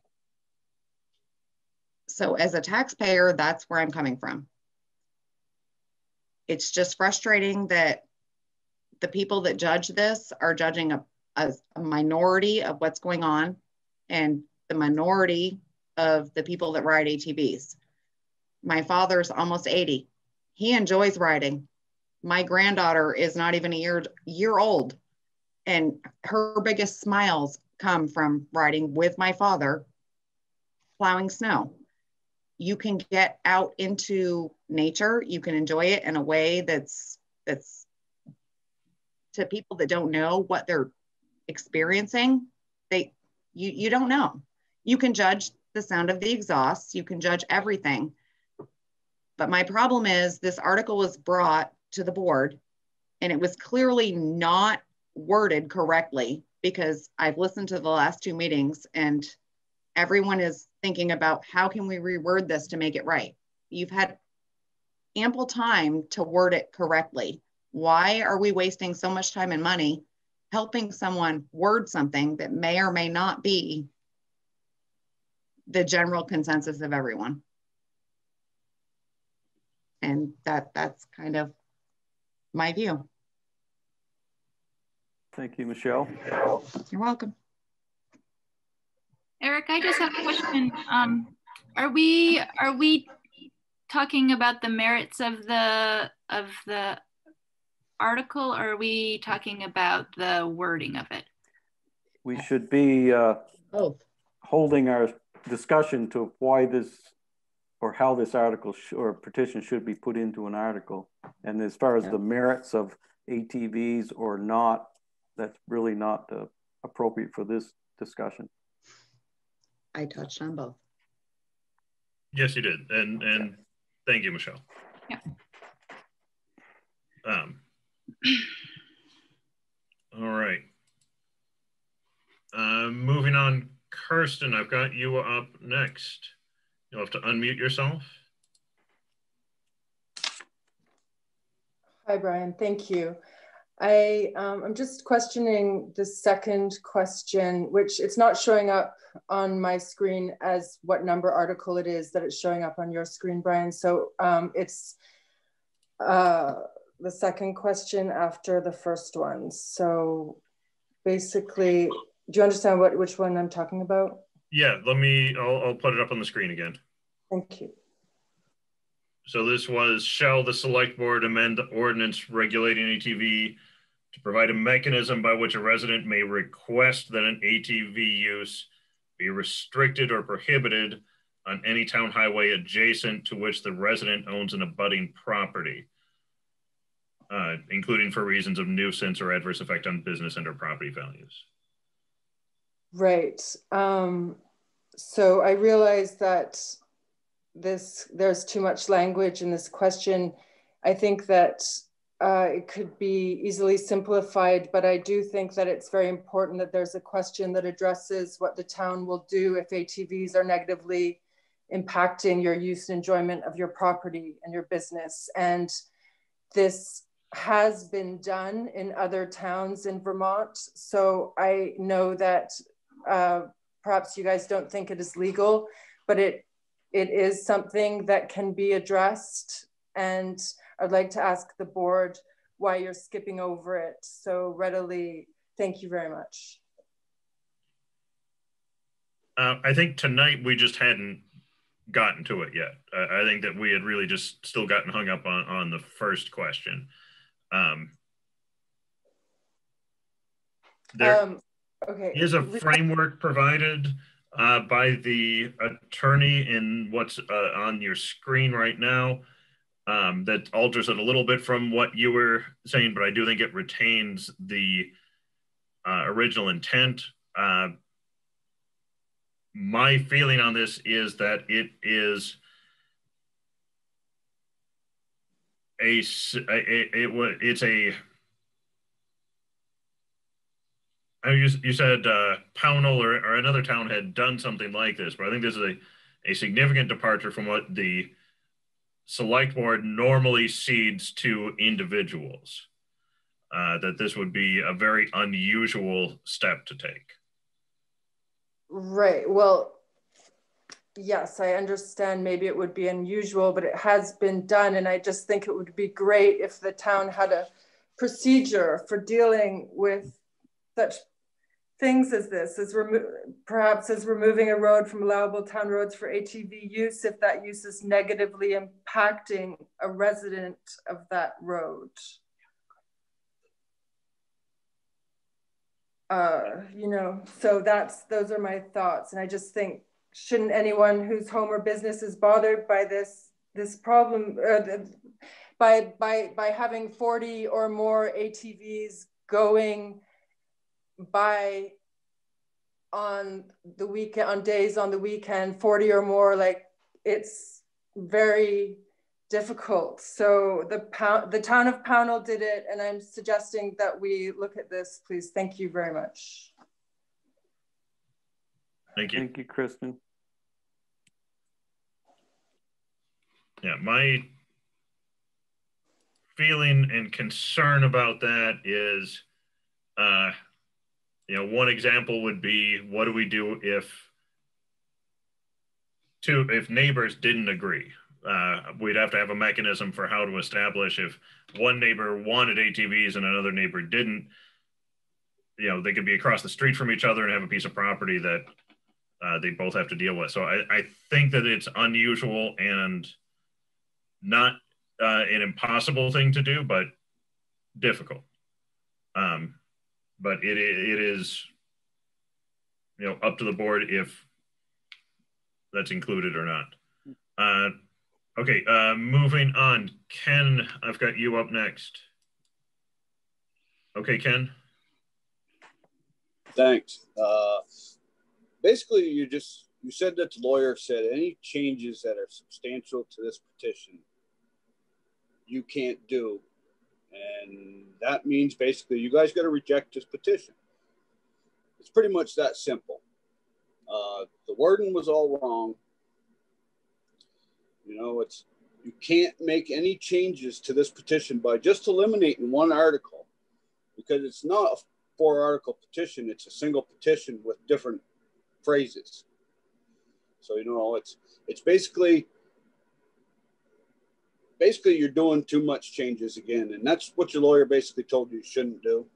So I feel that the board should just go ahead, vote against this, and as speaking for the local club, and Christian knows me, I think we ought to try to do something a total different route, as Nate was saying. Get together, talk about it, try to work something out.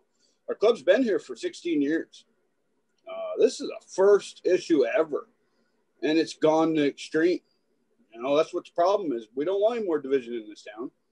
We're good people. Nate's idea about Green Up Day was awesome. You know, we do it every year. I think Shane Spence can testify to last year. I think that was his first year doing it. I don't know, but we went to the town clerks the year before and got the bags.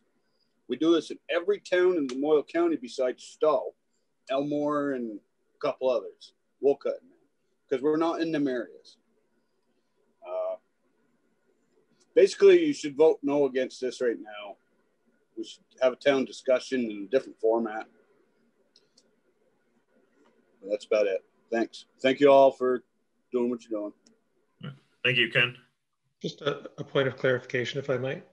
The, the, the lawyer did say that we have the option of replacing a question with a question or questions that the board feels is appropriate. So we are within our legal authority to replace the question with questions that we feel is appropriate.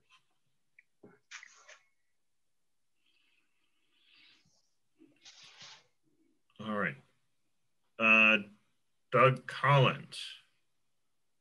Okay, you'll have to unmute, Doug. Yeah, uh, I think you guys are looking at legal actions if you uh, try and change this the way you're trying to. Uh, I think you need to reject it and go with what you passed the last meeting that was actually there. That's that's what I've got. Okay. Thank you, Doug. All right, Spencer. Um, yes, uh, I'm actually the vice president of the Green Mountain ATV Riders Club, and I'm just uh, also, uh, I believe that the petition. Um, and first off, me as a rider, and um, I've lived in Johnson now a couple years, and uh, I really enjoy the town, and uh, I think uh, ATV riding is great, and it can help build our community. Um, I'm not trying to get in the merits too much, but I think the petition I think we're trying to reword it um, to the extreme, which, like, I'm kind of new to all this stuff. It seems like it's kind of getting that's not shouldn't be allowed. Um, but also as an ATV rider, we want to try to make the community happy and get along with people. And like Ken was saying, we're willing to work with, you know, the taxpayers who own land because essentially we want to use land if that's possible. We, we don't want to argue with people, you know, we want to get along. And like uh, you mentioned earlier, the green up day with ATV riders and non ATV riders, you know, like that's a great idea. We're about giving back to com- the community.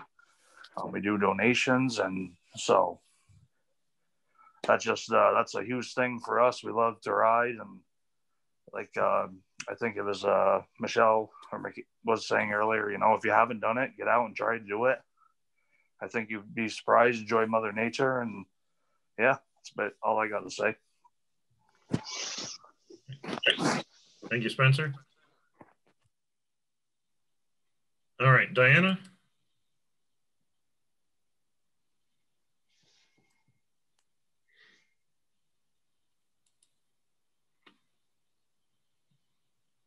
Are you there, Diana? Yes. Looks like you're unmuted. My, um, there we go. Okay, um, good. Yep. Um, I wanted to address Article 4, 14 first about this mechanism for people to, um, um, you know, request that the ATV use be restricted. Is not not that they're requesting they used to be restricted, but that a mechanism be provided. You know, and that's what I see at the root of this all. It's like right now we're in a situation where we already have an ordinance. There's already extensive state statutes about what's allowed and what's not allowed. And there's already a problem. Um, and so what's missing is an individual's recourse to do something if there's a problem. And Article 14 seems like a really essential one to to still keep in here to me because all it's saying is that um, there needs to be a mechanism by which a resident can do something. And that's what I see happening here is that, you know, residents are, are trying to work with the select board um, to at least have you um, enforce the ordinance that already exists when we see things happening that you know, maybe are just a few bad apples or whatever you want to say. You know, uh, I, I, I know that not every ATV rider is in the wrong, but the problem is, is that when something does happen in the wrong, right now people don't have any recourse. There's there's not a lot that can that can happen, and I think it's really really sad that when somebody tries to do something to correct a situation that's having a severe negative impact on them, that you would set aside the entire petition on, you know, language preferences. I think that um, it's it's super important that people have an ability to bring their concerns to the select board and not have their concerns set aside just because of you know the choice of a word here and there. Um, so when it comes to Article 14, you know what you're doing is providing a mechanism, um, and the other articles I think give you important feedback. And you know it's just advisory only. Why not just put it out there as it is, um, and see where people come in on it. And you know, it gives you information. And so, so what if people pass something saying to suspend an ordinance and you don't have the power to suspend? You might find out that, you know, 88% of the people don't want you to even consider that option. And that's important information for you. So um, I would I would encourage you strongly to think twice about rejecting a petition um, I mean, right now in the, the, the town ordinance, it says that the select board may list specific unpaved class three and class four roads where ATVs may be operated or not be operated. I mean, it's already in our ordinance that you guys can do that. And what I'm hearing is that there's certain residents in town that are asking you to do that. And instead, what it's sounding like here is that that's being confused with like pro ATV or anti ATV altogether. And that's not really the issue. The issue is, you know, do citizens have a way to require the select board to address their concerns? So that's my opinion. Thanks. Thank you, Diana. Uh, Brian, hold off just a minute. Sure. I just want to uh, remind the board we are about 45 minutes behind schedule. I realize there's quite a few number of hands that are up. We are on our last article. Does the board want to put a hard stop on how long we're going to let the discussion continue? And I guess I'm looking for input from the board. 11 o'clock. Oh, gee whiz, no way. that was a joke. Oh, all right. Let's, I mean, another 10 or 15 minutes on this? Okay. Questions, the hands that are raised? Is that a, uh, agreeable with the rest of the board? Another 10 minutes and then we'll uh, move on. How many hands are up? Uh, I've got six hands up. Let those six people speak. Is that the consent of the board? Sure. Yeah. Okay, we'll let those six people speak. All right, and Kim, I do see your hand, so you're you're all set. All right, uh, Kirsten, I've got you up next.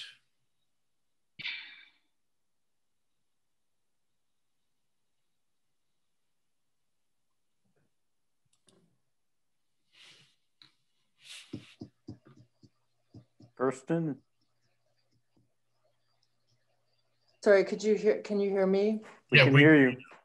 Okay, I was just saying that um, it wasn't, it's not, I, I like the idea of also I like the idea of um, having residents on that road on that road being able to use the road and and i'm just suggesting that um, you know not banning all atvs on ev- on every road where someone doesn't appreciate them but uh, because it's a lot of excess atvs at the moment which is the difficult thing. So i was just reiterating that they're coming from all over the place not there you know the the local is probably like something really we can work well together you know but it's just all the outsiders like so many of them. And um anyways that's all i'm going to say for now. I just wanted to say about having local residents on the road if the roads were closed to pe- for people who didn't want to have them if it was local you know if we could work that way. So i just wanted to suggest that. Thank you. Thank you very much.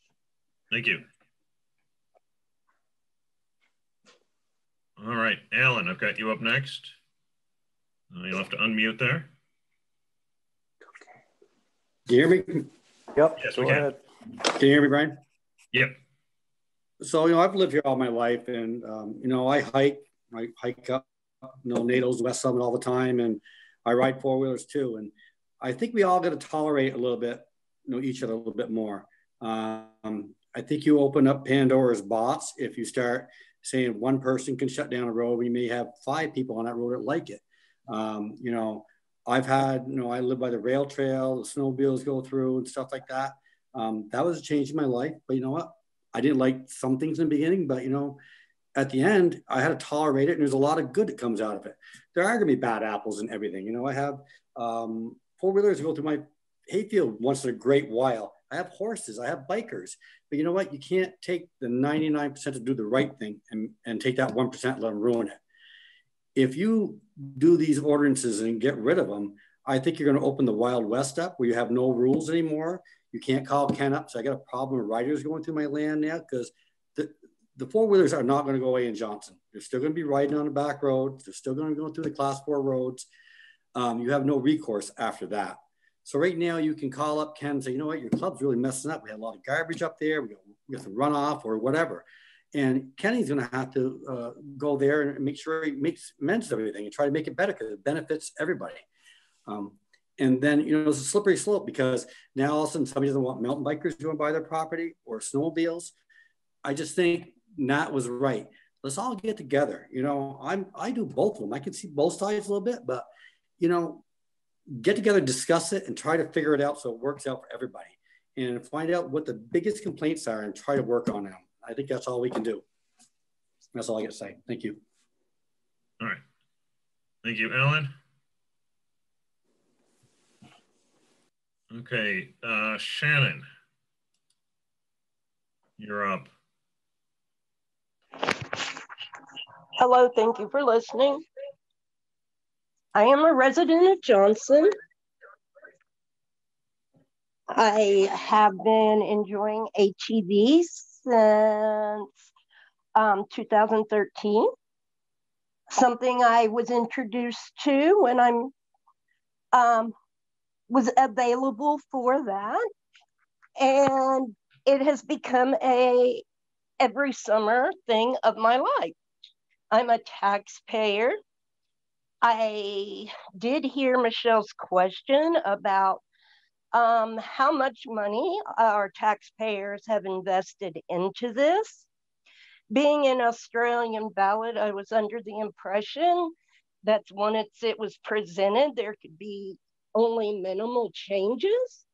And I'm seeing a lot of changes, and that is concerning.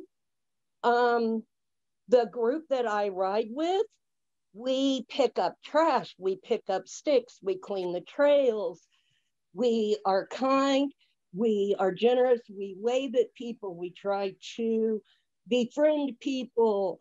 Um, it's an enjoyable way of life.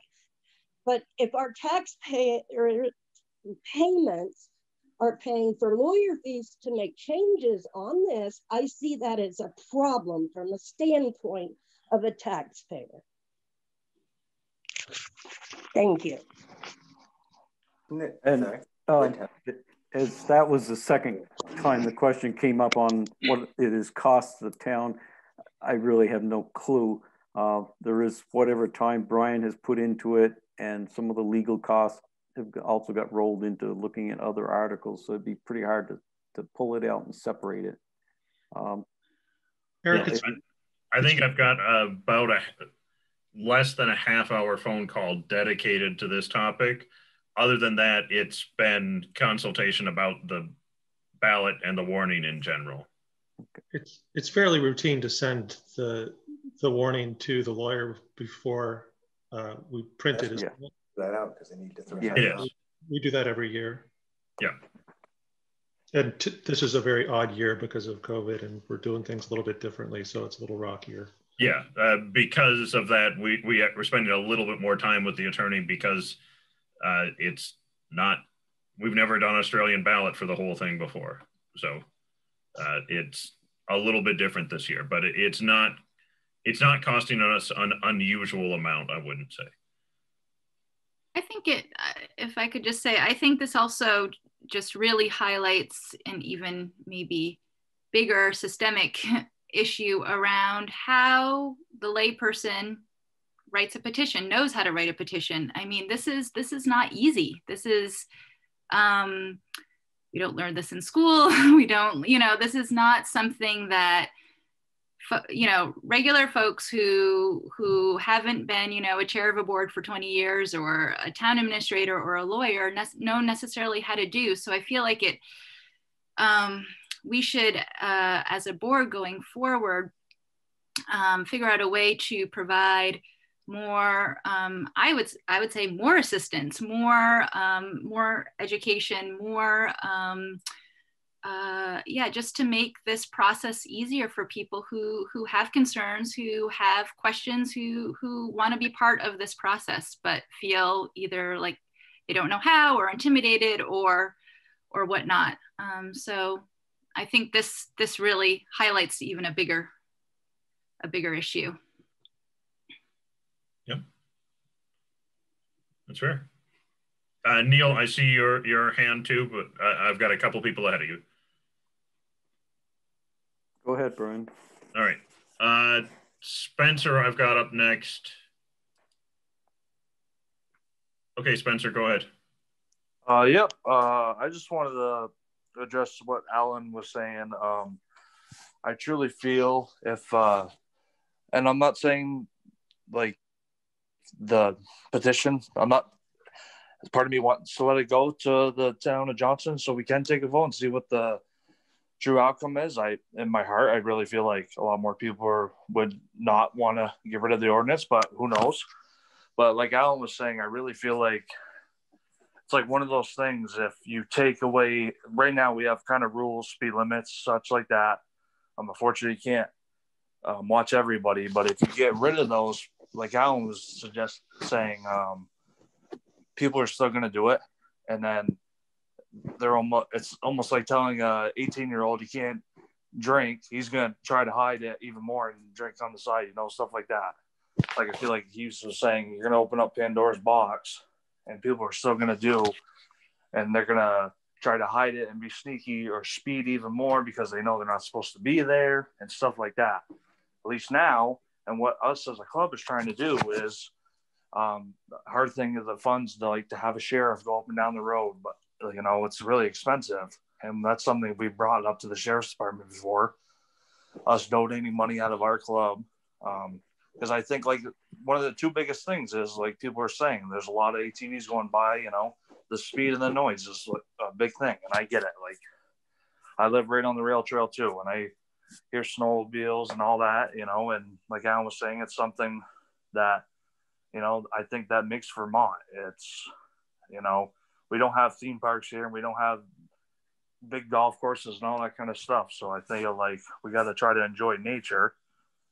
And, um, but yeah, if we get rid of this ordinance, I truly feel like it's just, it's not going to stop the people. And then, um, it's just going to make people break the rules essentially even more because they know they're not supposed to be doing it. But that's my input. So yes, thank you. Brian, how many more do we have? I've got uh, two more, uh, three more. We've had more than three already. Absolutely. You had, you had six at the beginning. Yeah, I think I got a couple ads, uh, but I've got, I know Bobby, Neil, and Kim have been waiting for a, a little while. Okay, when we go to those three and then we'll cut and it off. We'll, we'll cut it off. Okay, Bobby, I've got you up next.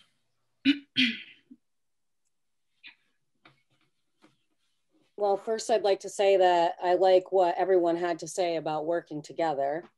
Um, and like every sport, the snowmobile community has issues also. But being that we are a very active organization, um, we can usually get our problems solved within a day or two of a complaint. Um, and speaking at the entire um, situation, we got an email, the snowmobile community got an email um, just the other day from a resident on Gould Hill. Um, she inquired about um, some the tr- Jolly Trail going down to Jolly Store, And we got right back to her, and her comment was I greatly appreciate your quick response and the information you provided. It's a bummer to hear the news of closed land. We are right on the trail and so enjoy walking, running, and strolling on the groomed paths, mostly in the evenings. Our experience with riders on Gould Hill Road or the trail, either snowmobiles or ATVs, is nothing but amazing. All riders are respectful of speed and space, as well as friendly. Here's to a great year of riding for you and your club. So I think that having conversations and working together would be the best thing to do because historically, his, historically, motorsports evolved. Snowmobiling started 52 years ago in Lamoille County. Um, and it started with farmland and it started with old roads. And I don't think that we should let our Vermont heritage go away. And I think that we should work together to come up with some answers to some of the problems some people are experiencing. Hmm. That's just my two cents. Thank you, Bobby. Okay, Neil.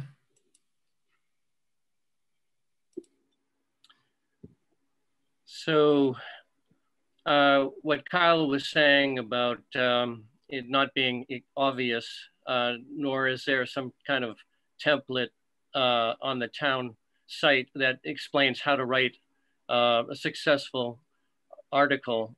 I do know that Kirsten spent some time looking at the state statutes and tried to model her questions after that and got other uh, advice as well from lawyers. So the the questions, um, you know, the intention, of course, was that they be legal and and and um, ones that would would uh, function. And so, I hope, and and we spent a lot of time last week revising them, hoping to make them um, better. And I, I would hate to see all that time wasted. I hope that uh, articles uh, 14, 15, and 16 will be considered by the board. Um, as Diane, um, yeah, as Diane Osborne said, you know, the spirit of this thing is is to get the questions out there so that voters can see them and vote on them. And whether there is a silent majority or turns out a silent minority out there, I know that there are a lot of people who, uh, there, this has been a 14 year experiment now since 2006 when the ordinance for ATVs passed. There was a lot of um, division back then. I think uh, the, the uh, vote won by about, I think there were only 10 uh, people uh, that uh, pushed the ATV crowd into uh, the win column. And I think it was something like 116 to 106 that suggests that there's a real division in the town. It suggests that people, the ATV club, VASTA, is at this point well organized. Uh, they come in and they, they I, I, trust that they're trying to do the right thing. There are a lot of people on the other side who are not organized. They are landowners, they live in the houses that the ATVs go buzzing by. And as we know, the, two of the issues that are real problematic are noise and enforcement. The noise issue is not going away. Um, all of you people know that you know there's a two two mile sound print. We hear the ATV coming a mile off, and then we hear it going away another mile off. And the noise issue is problematic because it directly contradicts the the noise ordinance that you guys have on the books, which talks about the peace and quiet uh, that uh, that property owners should be able to enjoy and uh, they too want to hear nature. I think the notion of, um, you know, what constitutes uh, uh, some connection to it is perhaps different between ATV riders and those who don't have them. But in any case, I think that uh, enforcement, the other issue, is difficult. I appreciate that ATV riders want to police themselves, but it, up where I live, it doesn't work. We have many people going over the speed limit and uh, people not writing single file. And uh, it's not always clear how to resolve these things. So if people were going to get together and try to do things, these two issues of noise and enforcement, I think are terrifically difficult. And, um, you know, I, I know that the mufflers on ATVs uh, just aren't, aren't, aren't very functional. So we're, we're listening to uh, uh, 90 to 100 decibels, which is like listening to a lawnmower. And if you multiply that by 10 or 15 ATVs going by at once, it's a big, big sound. So just in terms of the way it impacts property owners, I think that question, the Article 14, that is, is um, suggesting that individual property owners have some recourse um, by which they can talk to a select board or and find out, you know, whether there is any way to, um, you know, uh, figure out uh, a way to um, resolve an issue like that is very important. So I hope that you will at least consider including one of the articles. I think 14, 15, and 16 are all simple enough and will be understood by the voters. And I don't think that the original uh, petition that was sent to you was ever meant to be one question. They were four separate questions, and I don't see why you're reading them as one. Thanks. Thank you, Neil. Neil is there one more? Uh, one more. Kim had been waiting, and I apologize for to our others that are waiting, but Kim was the last person who had asked to speak uh, before we cut it off. And you guys are out of time, so I'm actually not going to speak. You should get on with your meeting. I okay. appreciate hearing from everybody, and I really appreciate that people can put each other in their uh, in in someone else's shoes, and that's what it's going to take to work through this. But all right, good luck. Go ahead and speak, Kim, if you want to. No, I, I, I appreciated what Bobby had to say. I appreciated Diana's point of view. I feel like it, it really is going to take people caring about each other to resolve the issue. And I'm really happy that the ATV riders that spoke about their passion for it. And I just would hope that they could be a part of the solution by, by having those talks with the people who are not being respectful of other people. Thank you. Thank you. Thank you, Kim. Okay, uh, obviously we've heard a lot of the merits from uh, both pro ATVs and, and against ATVs. But the question before us is the articles 13 through 16. What's the board's pleasures here? You need a motion, Eric, or a? I'm, yeah, I'm looking for some kind of guidance here from the board. Okay. Um, well, I move that we that we, what's the language, include, adopt article. Um, include articles, whatever yep. in, in the warning. Okay. Include articles 14, 15, and 16 as in, in the town warning as, as written. Okay, there's a motion. Is there a second? Lacking a second, the motion will die and the motion dies. I'll again open it up to the board. Is there a motion on either individual articles 13 through 16 or the slate? I would move articles 15 and 16 be included in the warning. We have a motion. Do we have a second? I'll second that. We got a motion and a second. Any discussion? I just, I just, I, I think I'll reiterate that regardless of the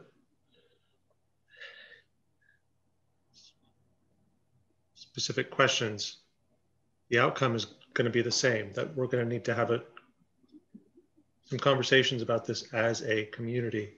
Um, that's it. Thank you. Any other discussion?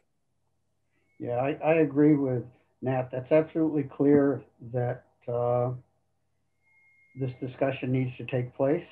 And uh, I like the fact that this is uh, our advisory because uh, while I'll be off the board, I would strongly suggest that this become a important that item on your agenda to revisit this and uh, bring in both sides and hopefully uh, maybe you set up another committee like we had originally uh, on this. I think so. And I think since Dougie won't be on the select board, you should chair it. So we'll make that happen. Thank you for suggesting it. I'm, I'm going to pose the question to, Mr. Chairman. Uh, to Doug and Nat. Uh, with the comments you just made, would Article 15 not get us to that place that you're looking for? And why would you include Article 16? I would include Article 16 because there were four separate articles, and Article 16 was uh, it's not a it's not a substantial deviation. I think it's uh, it's respecting the article as it was submitted based on how we're supposed to operate. Okay.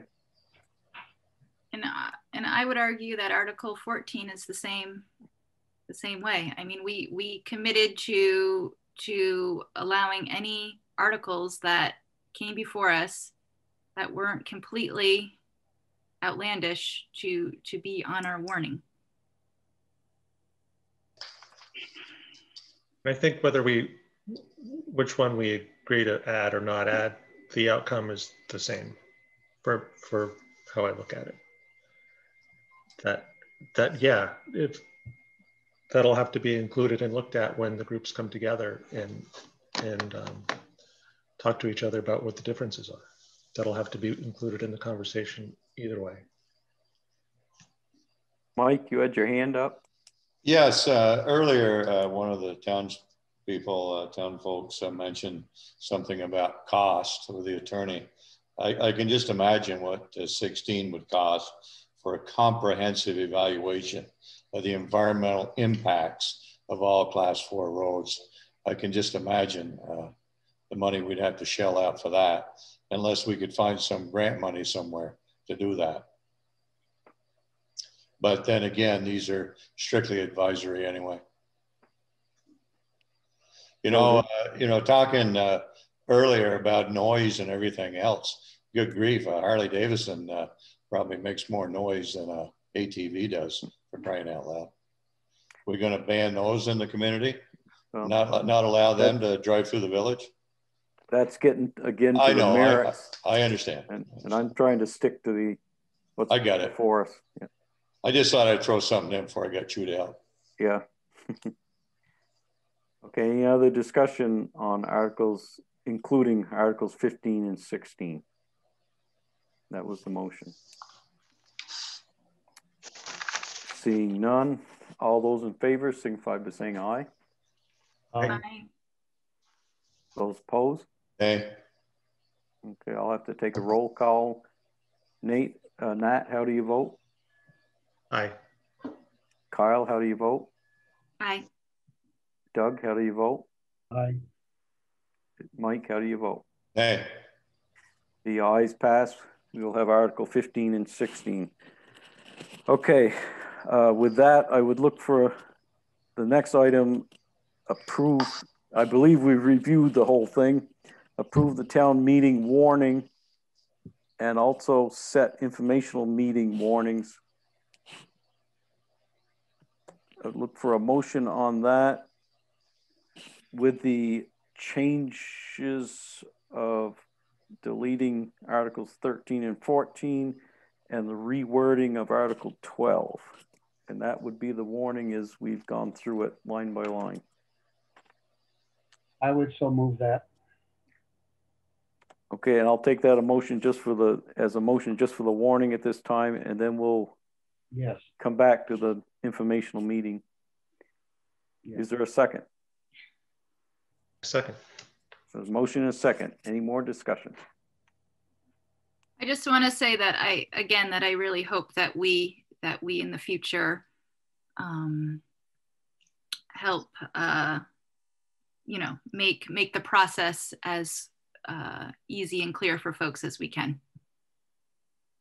for submitting petitions. Duly noted. Any other discussion?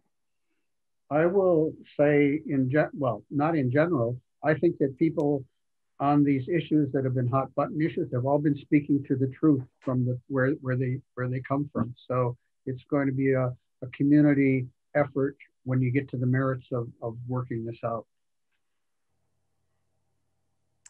So noted. Any other, Mike? We were talking about how to write a proper petition. Uh, I think that they do well not to uh, consult the town administrator or three of the current select board members because you folks didn't do a very good job helping this lady out. Again, duly noted. Any other discussion? Seeing none, all those in favor of the warning as presented with the changes signify by saying aye. Aye. Aye. Those, those opposed? The warning passes and now look for some informational meeting warnings. Do you have some suggested dates, Brian? We talked about trying to have a weekend and a weekday. Mm-hmm. Town hmm. meetings what, March 2nd? Yeah. Okay. So if we backed it up to Saturday, that would be February 27th. Sorry, I'm gonna open my calendar on my phone. The computer's not gonna let me do calendar while it's hosting the meeting and doing everything else. When do the ballots get mailed out, Eric? Uh, I don't know, you have to ask Rosemary on that. Yeah, I'm gonna rely on Rosemary for Mhm. that. Okay, I'm gonna unmute you, Rosemary, if you can answer. Board has yet to officially decided if they're going to mail to all voters, registered voters or not. And we have been authorized, right? From Yes. the latest, yeah, okay. Yeah.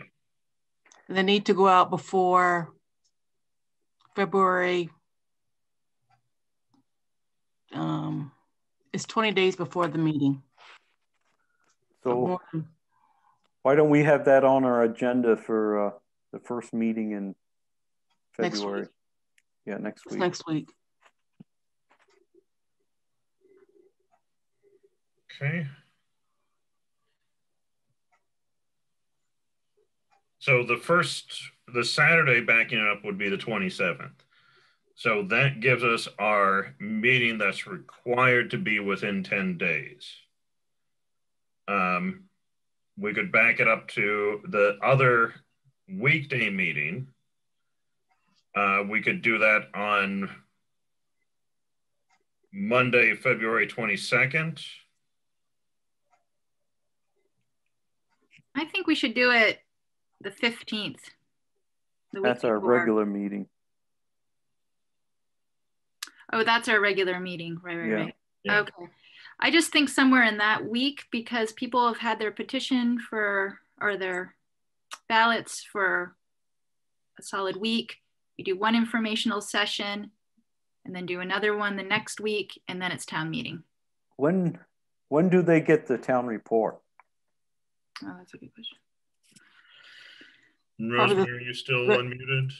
The third week of February. Okay. So they get there somewhere between the 15th and 19th or so? Yes. Okay. I like doing it one week before uh, town meeting on the uh, 23rd. But we're gonna have two, aren't we? Yeah. Yeah. Well, I, I think the one on the on Saturday. Does anybody object to the one on Saturday, the 27th? That's a good idea. Yeah, let's do that. What time we, would we do it? Um, I don't know, would you prefer an evening or a midday? I'm really trying to think about what would be most convenient for, for folks. Um, Think- midday, usually. Mid-afternoon?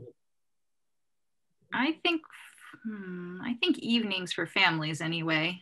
I mean, usually But during Well, the weekday, The one during the week will have to be in the evening, Yeah. just to accommodate every, all of the select board schedules. Mm-hmm. So we, we've got one that's definitely in the evening. If we want to be Mm. eh, like kind of accommodate as many different people, maybe we want the other one to be like the Like, one on uh, Saturday, we could have at one or two in the afternoon, and then the one on uh, Tuesday, kind of our regular evening meeting time. hmm That makes sense. yeah, some of the seniors might appreciate an afternoon. Yeah. Okay, I'd like, Uh, could I ask Rosemary a question? go Do- ahead. do, if the ballots go out, how many, how, what's the percentage of them, or do you expect uh, them to be um, voted on and back in quickly, or so these informational meetings and the uh, uh, and the uh, town report will be in hand before they send them back? You know how, you know, we've got the information and the ballots are already out there to be voted. I'm sure we'll have some come in before the informational meetings. I don't know how many. Yeah, that was my, that was, that's why I was thinking even the week before um, to have one, but Sooner the better.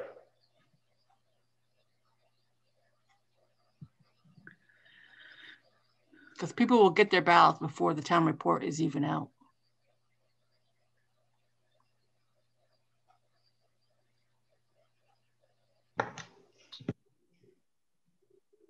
And that's just because it takes so long for them to print, Rosemary, the, the reports.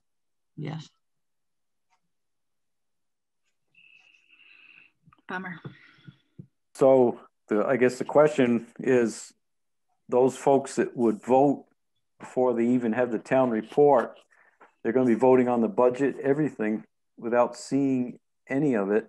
Yeah. Uh, would they even attend a informational meeting if they're willing to vote before they even have the information in front of them from the town report?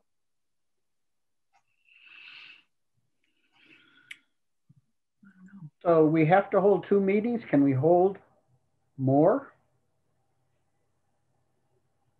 Uh, we, can hold more. We only actually have to hold one.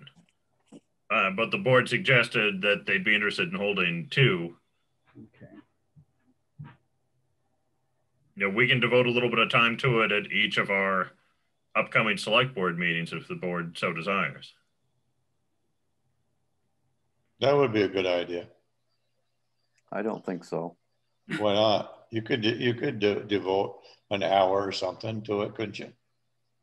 Between the Depends on what we have on our agenda. Yeah. I think what are we thinking actually? More like an hour and a half, Brian, or two? I mean, I don't know. For our inform- informational meetings, I would I would probably set them at an hour, um, just in case if attendance is low, we don't want to be committed to being there too long. I don't think that's going to be the case, but uh, that's a possibility. So yeah, I would say set the meeting at an hour. We're guaranteed to be there for an hour, and then if discussion's going, we can, you know, stay a little bit longer, um, but not an unlimited amount of time. I think that's being optimistic. We've spent over an hour discussing one article. Yeah.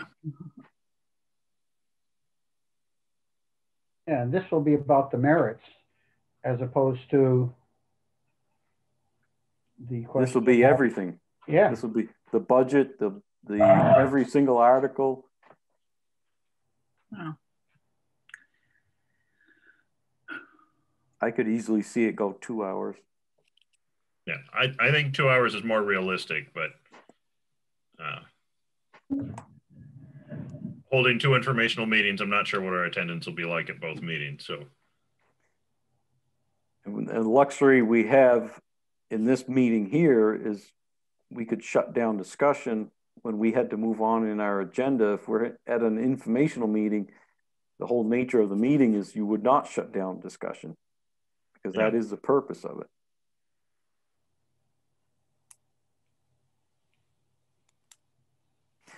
So the proposal, the last one I heard was Saturday the 27th and Tuesday the 23rd. Those board want to change those times, dates? Do it. Did you say do it? Let's do it. Okay, I look for a motion. Let's do it. It's not a motion. I make a motion that we hold informational meetings on the 23rd and 27th of February. 23rd at 7 p.m. and what what time on the 27th on the Saturday? 2 p.m.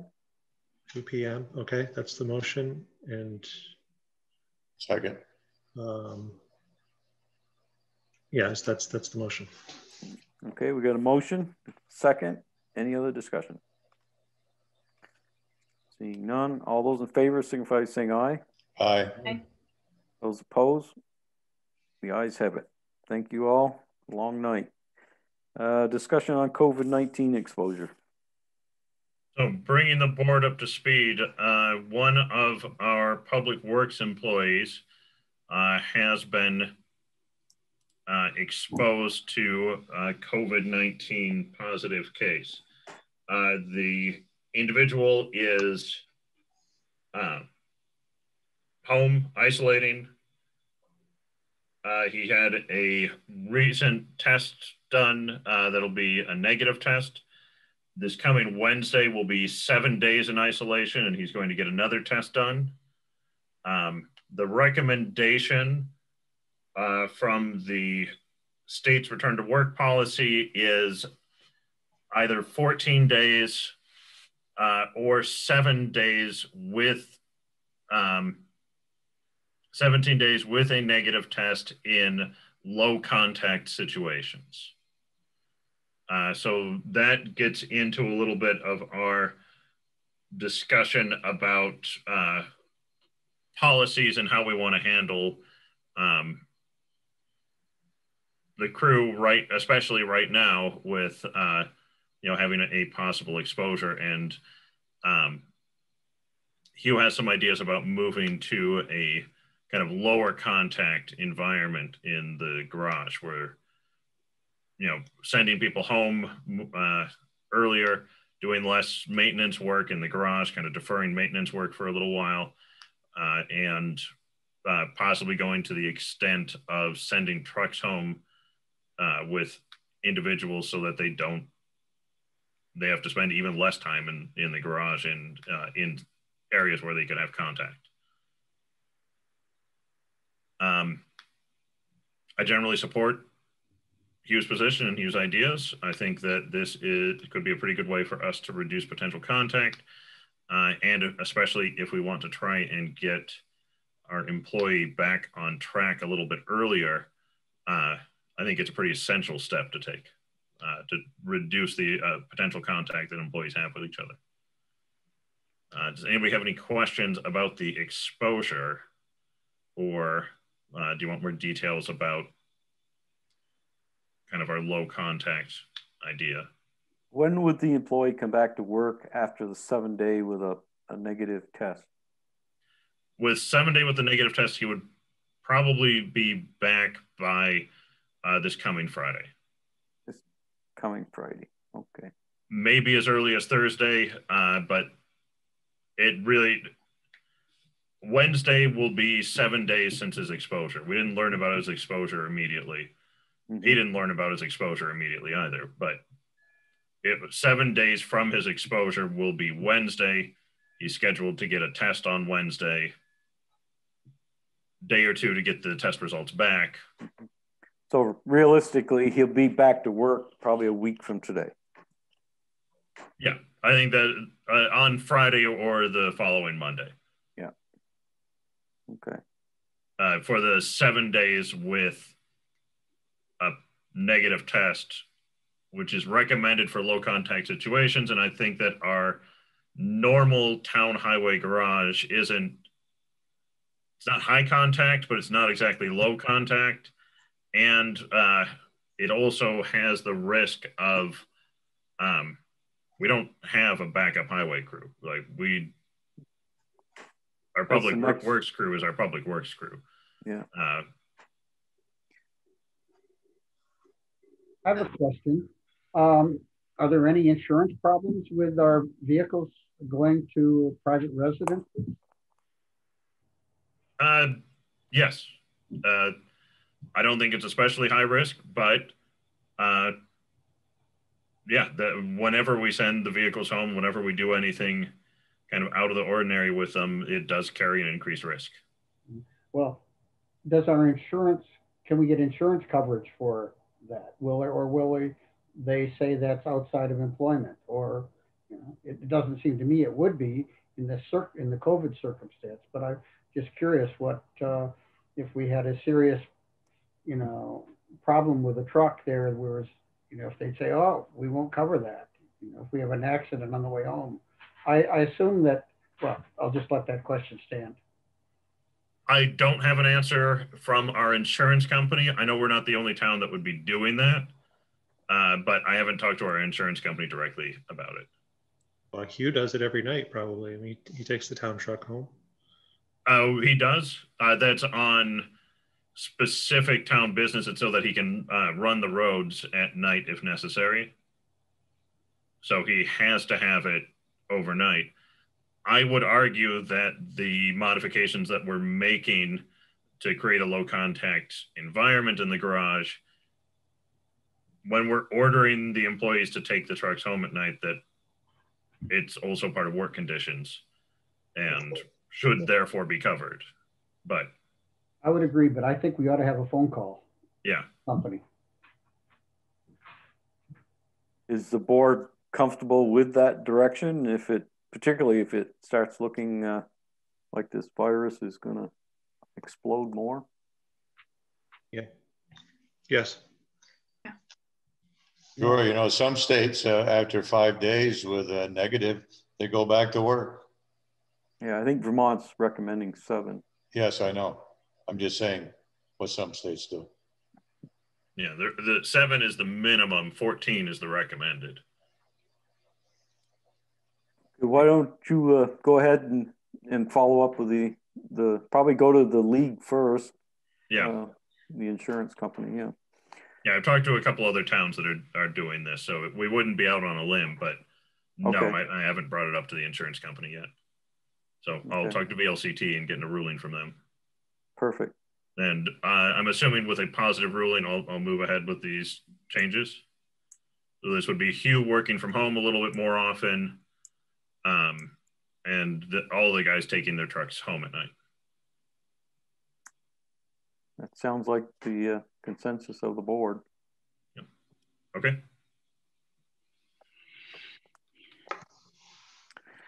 Okay, no, the next question Brian and I had talked about a little bit. Uh, maybe we're a little bit fortunate. We've had uh, quite a few retirements over the last uh, so many years. And I'm putting the question before the board. Is the board uh, willing, if we reached out to all of these uh, folks that retired in the last few years, if they still have their CDL license, being a reserve for us if for some you know if the pandemic was to hit the town highway and knock out all of our highway operators we would have this reserve that we could go to uh, if they still have their cdl license they could come in and they they know all the routes they know the whole routine uh, they probably could hit the ground running fairly quickly and it'd be almost seamless with the uh, support for the community uh, but first of all, we just wanted to know what's the thoughts on the board if we reach out to them, at least see if they would be willing to do such a thing. I think it'd be a great idea. Mhm. Me too. Yeah, that seems really proactive, which is a good, Good thing. idea. Okay. But if we have a union, we don't want to get into a situation where they would consider them scabs. That's a bridge we'll cross if we get to it. Yeah, that's the truth. Okay. Uh, Brian, why don't you go ahead with that and we'll start that reaching out. All right. And there was two items that we added. Uh, the union, did you want to go into executive session for that one? Uh, at this stage, I was just going to let the everybody know that we'd received the contract and that Okay. we're working Then on go it. Go ahead. Yeah. Uh, that's really it. We received the Okay. contract. We're working on it. And as you guys all remember, Mike and I are the designated uh, board member reps to meet with the, the union. So the process is just started. And the last item was value mapping. Uh, Kim, I see you're still on. You're you've done a little bit more work with this, so you're a little more familiar. So I'm going to ask you to unmute if you can, and fill us in. But if you're not available, Hey, I think uh, you could do it too, Brian. It- It's um, uh, a night of getting on with facilitators who are going to help us to map all the special places in Johnson that um, we uh, use, enjoy, think should have value. And I actually would defer to Lois or Eric Nuse, who have even more information, or Brian. Um, but there is, I think, a post today in Front Porch Forum that again has the link, and they've put so much work into preparing this. I really hope that everybody who's on tonight can like tell one other person um, and get on the Zoom at six o'clock. Tom- nope, Wednesday. Yeah, tomorrow. Wow, Wednesday evening. Yep. Wednesday, six to eight. Uh, the link is in the Zoom or is in the uh, front porch forum post. I've also got a copy of the link I'm happy to share, it's been posted in, in a number of places by Conservation Commission and the Planning Commission. Um, everything Kim said was great. Uh, we're going to have facilitators from uh, Fish and Wildlife. Um, and they've got a kind of digital presentation, something that's well formatted for working online and for online collaboration. So it should be a really good experience. It's not just like trying to make do with uh, reading a whiteboard on the back of the camera or anything. They've got a lot of experience about how to facilitate and use uh, this technology in this environment. So I think it's going to be a really great meeting, and I attend, encourage everyone to attend. Our Conservation Commission and Planning Commission have put a lot of work into uh, hosting and putting this together. Um, you know, this is really about, you know, the the what does what what is John what makes Johnson special for us and for uh, visitors, and what what are what's important to us about you know the the outdoor and shared spaces that we have. So I think I think it'll be a great discussion, and uh, they've lined up some really good speakers and facilitators for this. So I'm looking forward to attending on on Wednesday. Thank you, Brian, Kim. Uh, that's all I've showing on the agenda. Is there anything that anyone last minute want to bring up? If not, I'd go like- ahead, Doug. Yeah, sorry about this. Uh, a lot of people tonight uh, spoke about what they value and they are uh, in the community and you ought to participate in the values program. Yeah, that's great. Uh, and very true, Doug. I'd, I'd love for everybody on both sides of the ATV issue have uh, are very passionate and have a deep understanding of what it means for them personally to connect to the outdoors and with Johnson. And I, I'd love for them to participate uh, in this forum. You know, this is a great opportunity for us to create that framework that that will spend going forward about uh, the shared discussion and again the shared values of why is this important and what does it mean to us. Mike? The, the folks are going to get their ballots before we have our informational meetings, right? Looking that way, yeah. Then maybe we ought to get one a little sooner. Well, the board already decided on that. I know, but we can still decide on another one, can't we? But they, we lined I- it up, we I- I lined it up with a town report. I I know, thought the it, same thing, Mike, but the town report won't be out. yeah, that's true. Boy, is this ever jacked up? It really is. It, it's not. It's not really a laughing matter either. I mean, we all laugh about it because it's kind of a, a nervous laugh, but you know, it, it's really too bad. You know that we always try to pride ourselves in getting uh, information out there in a timely manner, and the cart is before the horse. Yeah. But I guess it's just the way it is this year. And uh, I was in uh, conversations with Dave Williams a little while ago, a couple of weeks ago, and he will be attending those informational meetings and moderating them just like a regular meeting. Awesome. Probably more appropriate than for us to. We'll be the ones that they ask questions of, but okay. Cool.